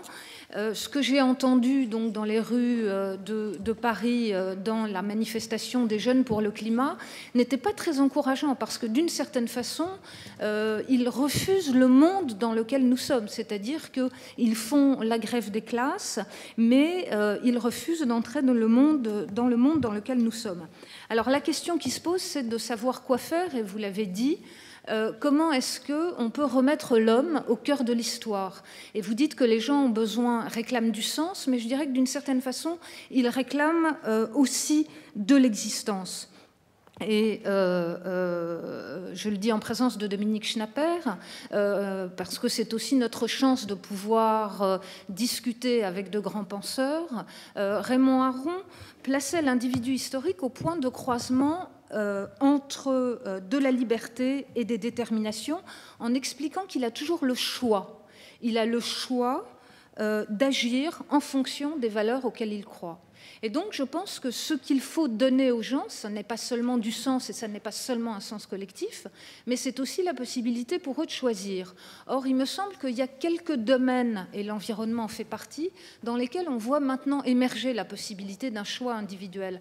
Mais ce sont aussi les domaines les plus paradoxaux. Et je pense, alors je, parle aussi en présence euh, du professeur René Friedman ou de Frédéric Worms, mais aux questions bioéthiques. C'est pas pour rien que les questions bioéthiques et les questions de la vie se sont trouvées au centre de nos interrogations aujourd'hui, c'est parce que dans cette situation paradoxale euh, dans laquelle se trouve par exemple l'individu en fin de vie, donc là où il est le plus vulnérable, euh, il est en même temps le moment où il peut faire le choix euh, de sa vie ou peut-être le choix de sa mort. Alors il me semble qu'il faudrait identifier un certain nombre de domaines dans lesquels on voit émerger la possibilité d'un choix. Vous l'avez dit, c'est l'environnement, c'est le travail, euh, c'est la bioéthique, euh, c'est la fin de vie.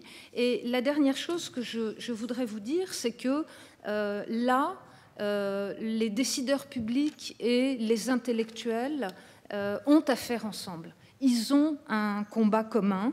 Ça suppose néanmoins que soit rétabli un certain nombre de choses qu'on a peut-être oubliées.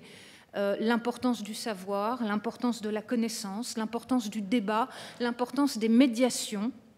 Et c'est là, me semble-t-il, que euh, nous avons à relever nos manches ensemble. On va poursuivre avec un autre philosophe de l'école normale supérieure, euh, Frédéric Worms.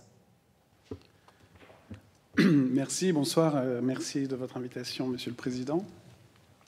Je voudrais revenir pour euh, rejoindre en fait des choses qui viennent d'être dites euh, de la situation où nous sommes ici ce soir, euh, qui n'est quand même pas habituelle pour nous. Et au fond, finalement, nous sommes pris dans un contexte doublement inhabituel, avec des, débats qui ont essaimé spontanément, hors de tout cadre, qui, ont donné lieu à de la violence qui, justement, qu'il faut refuser, mais qui ont suscité aussi des questions.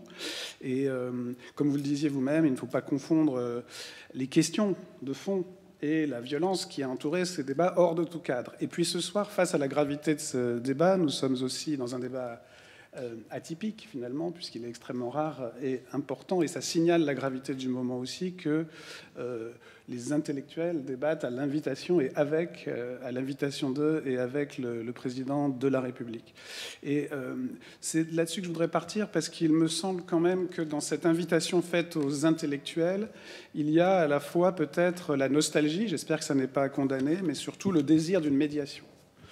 Et, c'est finalement la fonction principale des, intellectuels. Et c'est une petite introduction pour rejoindre ce que vient de dire Perrine et ce que nous discutons ici.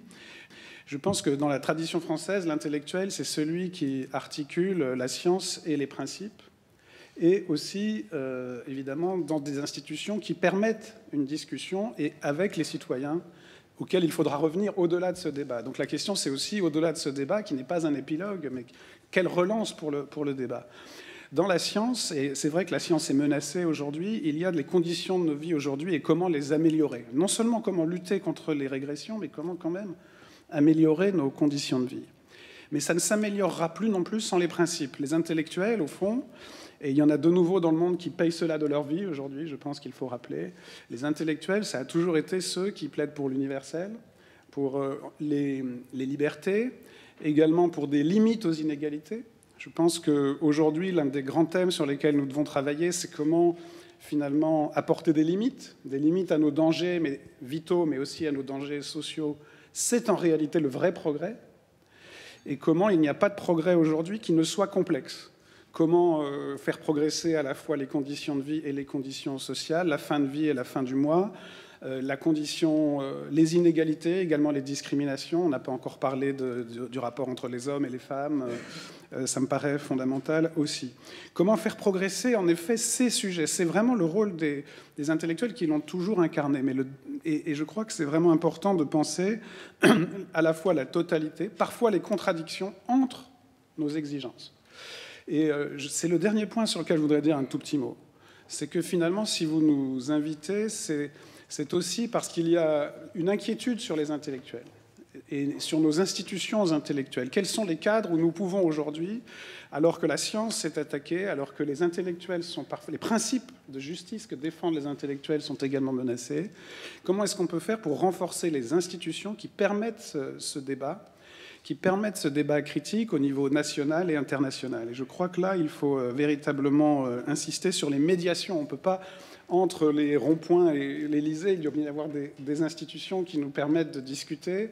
Euh, Et je ne parle pas de la violence, hein, je parle juste de la parole publique, des institutions qui, nous permettent de discuter. Je pense à l'école, à l'université, aux universités aussi en Europe. Comment faire pour que ces sujets soient pris en charge de manière critique, que la critique soit possible, sachant que le projet commun dont vous parlez, il est à mon avis possible, mais il est forcément complexe. Et je prendrai l'exemple de la bioéthique. Et Jean-François Delfrécy est ici, qui a animé un grand débat sur la bioéthique, qui a été exemplaire à bien des égards. Et je crois qu'il doit continuer. C'est qu'il y a des contradictions. On veut à la fois être soigné et être libre. Et parfois, la contradiction euh, entre les deux, entre la vulnérabilité et la liberté, n'est pas simple. Les progrès d'aujourd'hui seront euh, des progrès divergents en apparence qu'il va falloir faire converger. Mais pour cela, il faut en effet cette responsabilité des, intellectuels et il faut, je crois, alors en France, on n'est pas menacé dans notre vie, il y a un anti-intellectualisme extrêmement grave malgré tout, une idéologie anti-intellectualiste qui s'est développée contre la science, contre les principes universels, contre nos institutions d'enseignement, d'information, de recherche, de débats, y compris les cafés. Comment est-ce qu'on fera pour travailler sur tout ça? Je crois vraiment que c'est en effet un modèle anthropologique, mais que toutes les inquiétudes, il faut les traiter toutes ensemble et dans la discussion critique. Et on n'est pas forcément d'accord entre nous, c'est ça qui est important, mais il ne faut pas discuter seulement entre nous. Je ne crois pas que vous nous avez convoqués pour un débat d'experts, mais pour ensuite rayonner dans le débat social qui doit continuer ensuite. Une dernière intervention, cette fois-ci d'un sociologue, Michel Viviorca. Vous avez la parole. Je remercie, Monsieur le Président, pour cette invitation on imagine mal une telle rencontre aujourd'hui à la Maison-Blanche. Je voudrais me situer sur deux registres de façon très simpliste, mais pour bien vous poser une question. premier registre est, disons, relève de la sociologie. Nous savons tous, notre société est fragmentée, individualiste, beaucoup de solitude. Euh, on se demande comment faire France. Les médias sociaux enferment bien plus n'ouvrent euh, les, les discussions, les débats d'un côté, et d'un autre côté, notre système politique est décomposé. Je pense que ce que nous venons de vivre avec les Gilets jaunes, ce n'est pas toute la société qui s'est cabrée. C'est une partie. Ce n'est pas les chômeurs, très peu. Ce n'est pas euh, les syndiqués, ou très peu. Et quand ils se sont cabrés, euh, c'était, je dirais, en marge et, à côté. Ce n'est pas les lycéens, même s'ils si, euh, ils se sont parfois mobilisés, etc., etc. Mais c'est une partie de la population. Et ce genre de, groupes sociaux, ce sont des groupes qui euh, sont sensibles aux discours qui les flattent, et donc qui vont croire les fake news, qui vont accepter les discours mensongers les plus éhontés, pour peu qu'ils viennent de gens qui savent leur parler et qui les touchent, et qui symétriquement, ça vient d'être dit, développent beaucoup de méfiance par rapport à ceux qui ne sont pas du même groupe. Les politiques, les journalistes, les scientifiques, les médecins qui leur parlent de vaccins, comme vient de le dire mon ami Frédéric aussi, les, intellectuels. Donc d'un côté, des logiques de rupture, des logiques dans lesquelles notre société n'est plus capable de, mettre ensemble sur des débats un certain nombre de personnes. Je vais simplifier maintenant tout autant la dimension politique de cette rapide euh, analyse. Politiquement, l'image que l'on peut avoir du système politique, c'est bien connu, c'est vous occupez une place forte au centre, vous, le parti qui, euh, vous soutient. Ensuite, à gauche et à droite, c'est presque le vide, pas complètement, mais presque. Et puis au bout du chemin, les, les extrêmes. C'est ça un peu l'image qu'on peut avoir de ce système euh, politique. Vous êtes souvent critiqué pour votre verticalité, c'est le mot qui est souvent utilisé, une verticalité descendante, comme si entre l'exécutif et la population, il n'y avait rien, ou il ne pouvait rien avoir, et j'en arrive à ma question, en notant euh, auparavant simplement que cette verticalité, elle est aussi ascendante. Les Gilets jaunes euh, se sont comportés aussi euh, avec une certaine verticalité. C'est à vous qu'ils voulaient parler, et j'allais dire à personne d'autre, ou presque. Et donc, verticalité, il y a aussi beaucoup d'horizontalité. Donc là, c'est des univers qui ne se parlent pas. Le monde des Gilets jaunes est très horizontal d'une certaine façon, même s'il est très diversifié. Et ma question, elle est la suivante.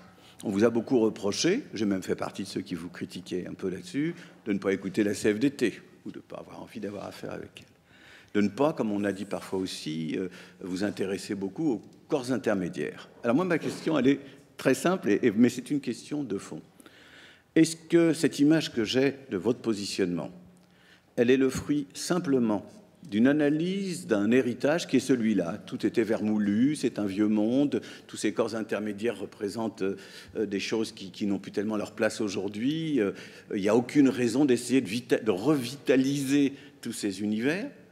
Ou bien, ce qui vous rapprocherait parfois de ce que dans d'autres traditions intellectuelles on appelle aujourd'hui la démocratie illibérale, ou bien vous pensez que le seul modèle possible à terme, de façon durable, est un modèle dans lequel il faut euh, un pouvoir exécutif fort, suivi par son, son Parlement, si je peux dire, et puis une capacité de dialogue direct avec la société, mais sans les médiations. Autrement dit, est-ce que vous êtes l'héritier d'une longue décomposition que tout le monde peut percevoir, ou est-ce que vous pensez que le modèle durable politique c'est des systèmes euh, qui disparaissent, qui s'étiolent ou qui n'ont pas beaucoup à agir. Voilà, j'aimerais avoir votre euh, vision de ces choses-là. Avant une réaction du président de la République, j'aimerais avoir euh, l'intervention de Monique Cantos-Perper, philosophe également. Ces, ces, suggestions et propositions sont passionnantes, mais je crois, comme vous l'avez dit, Monsieur le Président, que le mal vient de plus loin, du moins en partie. Euh, car ce à quoi nous assistons depuis plusieurs mois est l'expression désordonnée de revendications, de frustration, d'un sentiment de dépossession, parfois même de relégation, est quelque chose qu'on ne peut pas ignorer, indépendamment des manifestations de violence qui sont, elles, tout à fait inadmissibles. Mais par ailleurs, le grand débat national a montré une extraordinaire aspiration des Français à la participation politique. Et celle-ci ne se limite pas à émettre un avis, mais euh, elle doit également donner aux citoyens la, conviction que leurs perspectives, leurs points de vue, leurs conditions d'existence sont d'une certaine façon prises en compte. C'est une aspiration à laquelle on ne peut, pas, absolument pas ignorer aujourd'hui. Alors évidemment, le, Parlement est le lieu naturel où la pluralité politique, la pluralité sociale doit s'exprimer. car le Parlement représente tous les Français et pas simplement les électeurs du parti majoritaire. Mais il est clair qu'aujourd'hui, ça ne suffit pas. Or, ce que je voudrais euh, souligner, c'est que euh, ce dont nous avons besoin en plus dans nos démocraties modernes, c'est-à-dire d'une véritable participation politique, d'un engagement des citoyens, n'est pas si facile à réaliser. C'est même d'une certaine façon un peu contradictoire, parce que euh, certain nombre d'évolutions caractéristiques du monde d'aujourd'hui ont fait que ce besoin de, participation va à contre-courant de pratiques de gouvernement qui sont de plus en plus concentrées pour un souci légitime, d'ailleurs d'efficacité, et nul ne songerait à le reprocher à un gouvernement, et aussi un souci de lisibilité euh, de l'action politique. Donc on a euh, en quelque sorte deux tendances contradictoires, en tout cas à première vue incompatibles, entre une demande de participation politique de plus en plus forte et puis des pratiques gouvernementales. En France et dans d'autres pays, c'est une tendance générale qui semble euh, aller dans une direction opposée. Je crois qu'il ne faut pas sous-estimer cette difficulté, parce que sinon les solutions que l'on propose risquent d'être euh, peu praticables. Or, euh, l'enjeu est de taille. restaurer et fortifier la participation politique, revenir au fond à un exercice de la liberté politique qui, qui hante la tradition libérale en démocratie depuis très longtemps, est quelque chose d'essentiel parce que ça permet euh, de résister à la fiction d'une société homogène, d'un peuple sans différence, qui est souvent une condition malheureusement favorable à l'émergence de gouvernements autoritaires et populistes. Et puis la participation politique, la participation des citoyens est une façon d'améliorer la décision politique qui ne peut être qu'enrichie par le fait d'être euh, opposé à des, ou même confronté à des points de vue différents. Il y a, en politique, il y a rarement une seule solution il y a une proposition avec un classement des priorités euh, qui peut diverger selon les valeurs que l'on a ou la conception du bien public que l'on a. Et puis enfin, et c'est sur ça que je voudrais insister, euh, renforcer la participation politique, c'est d'une certaine façon créer les conditions favorables à une acceptabilité des réformes et euh, à la cohésion sociale, car la conviction que son point de vue a été entendu, même s'il n'a pas été suivi, incite au ralliement aux décisions prises. Et il me semble que sur des questions euh, essentielles comme ceux auxquelles les citoyens d'aujourd'hui, comme celles qui vont se poser à nos gouvernements, euh, l'arbitrage entre les impératifs de la sécurité, les exigences de la liberté, euh, la question énorme de comment remédier à la misère, à l'impuissance humaine, à la forme de dépossession, qui, encore une fois s'est exprimée de manière un peu chaotique ces dernières semaines, comment remédier à l'injustice scolaire, sur toutes ces questions fondamentales, les citoyens doivent, pouvoir euh, s'exprimer. Alors ma question, bah, vous la devinez, c'est euh, quelle piste pour répondre d'en haut, à partir de l'exécutif, euh, à cette difficulté? La société a elle-même ses propres réponses, hein, et évidemment on peut imaginer une, une véritable mise en dialogue de ces deux types de réponses. Mais comment répondre d'en haut à partir de l'exécutif, avec le Parlement, avec les corps intermédiaires? Il y a une véritable créativité politique à mettre en œuvre pour euh, euh, réformer les institutions, fortifier les droits de l'opposition, créer des véritables lieux de, débat, de communication des arguments. La société peut débattre, elle peut débattre de manière argumentée. Dans certains, dans certains pays d'Europe, un exemple souvent cité est celui des débats qui ont été organisés sur l'avortement en Irlande. On a eu une démonstration exemplaire de ce que pouvait être la capacité euh, d'information et de délibération de, citoyens qu'on pourrait dire ordinaires, en aucun cas des experts. Bref, il me semble qu'arriver à, répondre à ces questions, et je crois que le, champ est, ouvert pour toutes sortes de propositions, est le meilleur moyen de, remédier à au risque d'anomie sociale et de préserver les valeurs de nos démocraties. Merci Monique Cantos. Une réaction, Monsieur le Président de la République, avant une première pause. Sur ce qui a été dit euh, sur euh, la notion de choix, de sens, je partage totalement. Et la, difficulté, c'est euh, à la fois ce besoin d'avoir ses respirations et de pouvoir choisir sa vie. Et je dois dire que ça, c'est un, point sur lequel j'avais moi-même construit ma campagne, parce qu'on avait mené cette grande marche, et ce qui ressortait le plus, c'était ces vies empêchées. Et c'est vrai que c'est ce qui s'est exprimé le plus, et d'ailleurs, moi je le prends 18 mois après être entré en fonction, comme n'ayant pas réussi à, donner à, toute une catégorie de la population des perspectives sur, ces vies qui étaient vécues comme empêchées, soit par le sens, soit par l'insuffisante rapidité d'exécution de certaines, décisions. Alors après, ça relève de choix, de sujets euh, éducatifs, économiques euh, euh, ou éthiques, comme vous l'avez dit, mais je dirais que cette difficulté qui est liée au choix, elle se double d'une tension qu'il y a entre les libertés individuelles qu'on donne et l'idée qu'on se fait du collectif et des grandes valeurs de la société. Et on voit d'ailleurs cette tension au cœur des débats bioéthiques qu'on a. Sur beaucoup de ces sujets, le débat, c'est pourquoi je ne donne pas la liberté de choisir à l'autre alors qu'elle ne m'enlève rien à ma liberté de choisir. Parce qu'au fond, ça ne renvoie pas à l'idée que je me fais du modèle de civilisation dans lequel je veux vivre. Ce qui est une tension nouvelle, parce qu'on arrive à la frontière, en, en quelque sorte, des choix qu'on estime possibles ou décents. Et donc, on a, me semble-t-il, au moment où nous nous parlons, à la fois à, redonner de la possibilité de choix à nos concitoyens, et donc de, de cette part de liberté, mais à redéfinir cette part de commun qui permet à ce choix de s'exprimer librement, et nous n'y sommes pas aujourd'hui. Parce qu'il y a des tensions de, représentation qui peuvent relever du religieux, du civilisationnel, qui, sont là et qui disent non, ce choix me pose un problème parce qu'il est attentatoire à la vision que je me fais du commun que nous devons partager. Et donc, dans ce contexte-là, pour faire le lien avec la, remarque de Frédéric Worms, moi, je crois à cette médiation. Et c'est ce pourquoi, d'ailleurs, vous êtes là. Moi, j'ai. Et, ce qui fait dire que je crois, en effet, j'aime pas tellement ce terme de corps intermédiaires. Après, chacun se vit. Non, non, non, je sais bien, je sais bien, et c'est pas le mien non plus. Mais je, crois qu'il y a besoin, en tout cas, de, passeurs, en tout cas, de personnes qui sont identifiées comme des références. Mais la question qui est posée derrière tout ça, et qui est aussi la vôtre implicitement, c'est celle de l'autorité de la décision en démocratie. Et c'est celle qui est d'ailleurs au cœur, la manière la plus profonde de la crise qu'on vit.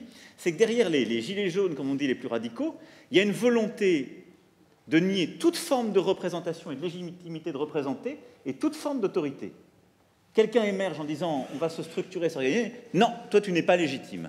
Qui es-tu? Et, là, ça c'est l'évanouissement, c'est-à-dire c'est l'individu qui ne se reconnaît plus dans rien, dans aucun sens collectif. Et donc moi je crois malgré tout dans des formes d'organisation de collectif. Je pense qu'il y en a une, les maires le sont au niveau local, c'est pour ça que j'ai voulu rassembler ça, parce qu'ils sont cette forme justement de médiation démocratique, citoyenne, à une échelle territoriale qui est palpable, perceptible, ma commune. J'en connais le centre, euh, généralement, ça va être la mairie, euh, le beffroi ou l'église, euh, selon les lieux et la tradition qui y sont. Et puis je connais les confins, et je sais qui est responsable et qui organise la discussion. Moi, je pense que les intellectuels ont cette responsabilité parce qu'ils ont une autorité dans la société qui est académique. Ils savent plus de choses, si je devais parler simplement, ils ont le plus de livres. Et c'est une autorité qui me semble importante et que je reconnais parce que quand il y a un rapport à la vérité ou au débat qui doit être éclairé, ça, vaut quelque chose. et donc il y a une échelle de valeur. Et la question c'est comment on remet des échelles de valeur. Et ça ne peut pas être l'infini et, zéro pour reprendre une forme de verticalité qui n'aurait pas de sens. Et donc je pense qu'il faut qu'on remette ces, échelons-là en disant que tout ne se vaut pas. Ce qu'on m'a reproché parfois comme étant de euh, la verticalité, c'était simplement de reconnaître que tout ne se valait pas et que toutes les paroles ne se valent pas à tout moment sur tout sujet. Quand bien même elle peut être respectueuse et considérer la part d'humanité absolue qu'il y a dans l'autre à qui on parle. Mais selon d'où on parle et qui on est, on n'a pas la, même légitimité sur tel ou tel sujet. Et donc c'est pour ça qu'on a à rebâtir, et que là les intellectuels ont une responsabilité très importante, la réalité des débats sur les valeurs et autres, et sur la part de vérité, y compris de son caractère falsifiable ou non, et de ce autour de quoi le débat peut se faire. Et c'est là où je pense, et je souhaitais d'une part qu'il y ait ce, moment, mais au-delà de ça, où je c'est ce qu'on a fait sur la bioéthique, parce que j'ai voulu que sur la bioéthique, ce ne soit pas un débat politique. J'ai assumé, en effet, confier, monsieur le professeur, et, à l'ensemble de ceux qui l'ont accompagné, dont, dont, vous êtes, euh, la responsabilité de structurer un débat qui était instruit par la science. Où on disait quel est le discutable, le non discutable, et, de lui donner un cadre avec des gens qui, savent et d'autres qui représentent. Et, ça, je pense que ça a une, vraie valeur et elle est irréductible. Et, donc, par rapport à la question, donc je crois en effet à cette forme de médiation, et je pense qu'au-delà du moment qu'on vit, elle doit, se poursuivre et, reprendre le cœur de la cité, et pas du tout dans des logiques instrumentales, et c'est vrai qu'elles l'ont parfois été, dans des vraies logiques de controverse, mais avec des éléments de légitimité. Donc, par rapport à la, à la question qui était posée par, par Michel Vivorca, ce qui a été beaucoup dit sur les corps intermédiaires, moi je pense qu'il y a une erreur d'analyse qui a été faite quand on m'a accusé de les marginaliser corps intermédiaires ou partis politiques. S'ils avaient été très structurés, très forts, je ne serais pas devant vous. Je suis le, symptôme le plus avancé du fait qu'ils ne structuraient plus la société, puisque la démocratie s'est exprimée en dehors de leur cadre. Donc il y a quelque chose de toute façon qui dysfonctionnait, qui a fait que je suis là. C'est que ce qui était censé articuler, structurer le cadre politique, à un moment donné, était tellement en décalage avec la manière dont les gens le vivaient, qu'il y a pu avoir une émergence qui semblait impossible, complètement baroque, euh, euh, tous les gens qui connaissaient le système. Ensuite, nous avons toujours eu une faiblesse du fait syndical en France, pas aux voisins. Et, et, ça, c'est une constante, il faut essayer de comprendre pourquoi. On a un système politique qui s'est construit par l'État-nation, qui n'est pas l'émanation euh, du fait social de l'organisation de l'entreprise, différencie de, en effet de l'Allemagne ou de plusieurs autres. Moi, je pense que les réformes qu'on a passées en début de quinquennat redonnent un pouvoir extrêmement fort aux organisations syndicales, parce qu'elles donnent la possibilité de faire la.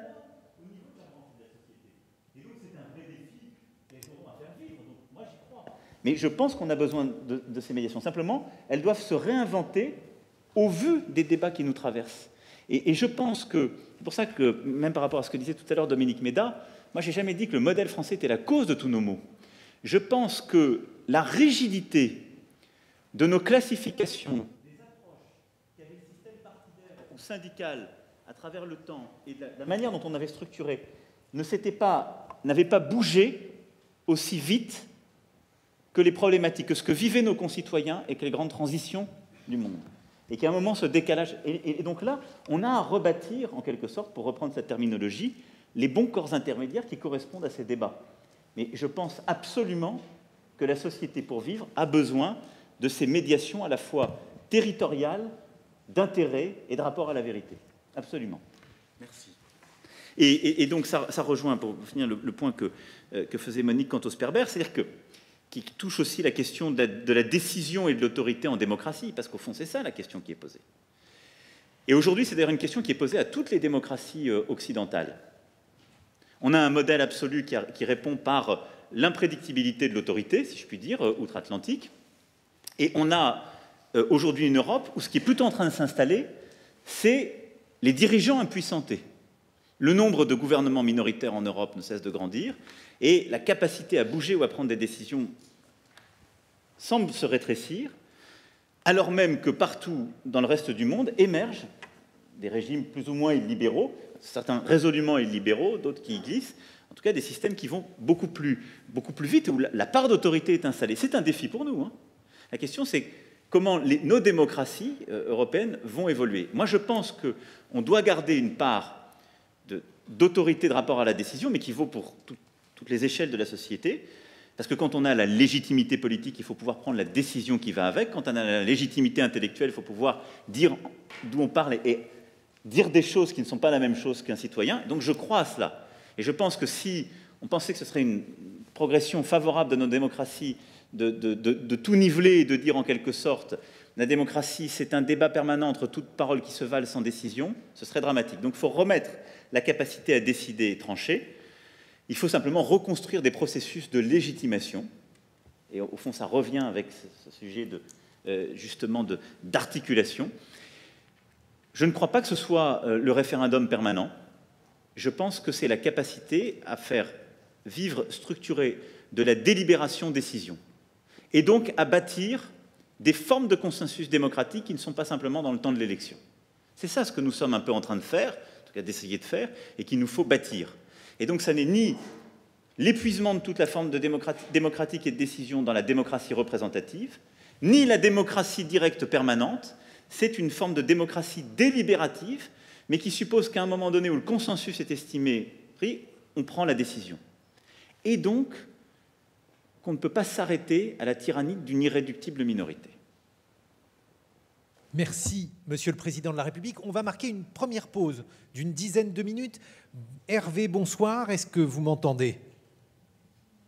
Eh bien voilà, donc vous avez l'antenne à tout à l'heure, Hervé. Merci.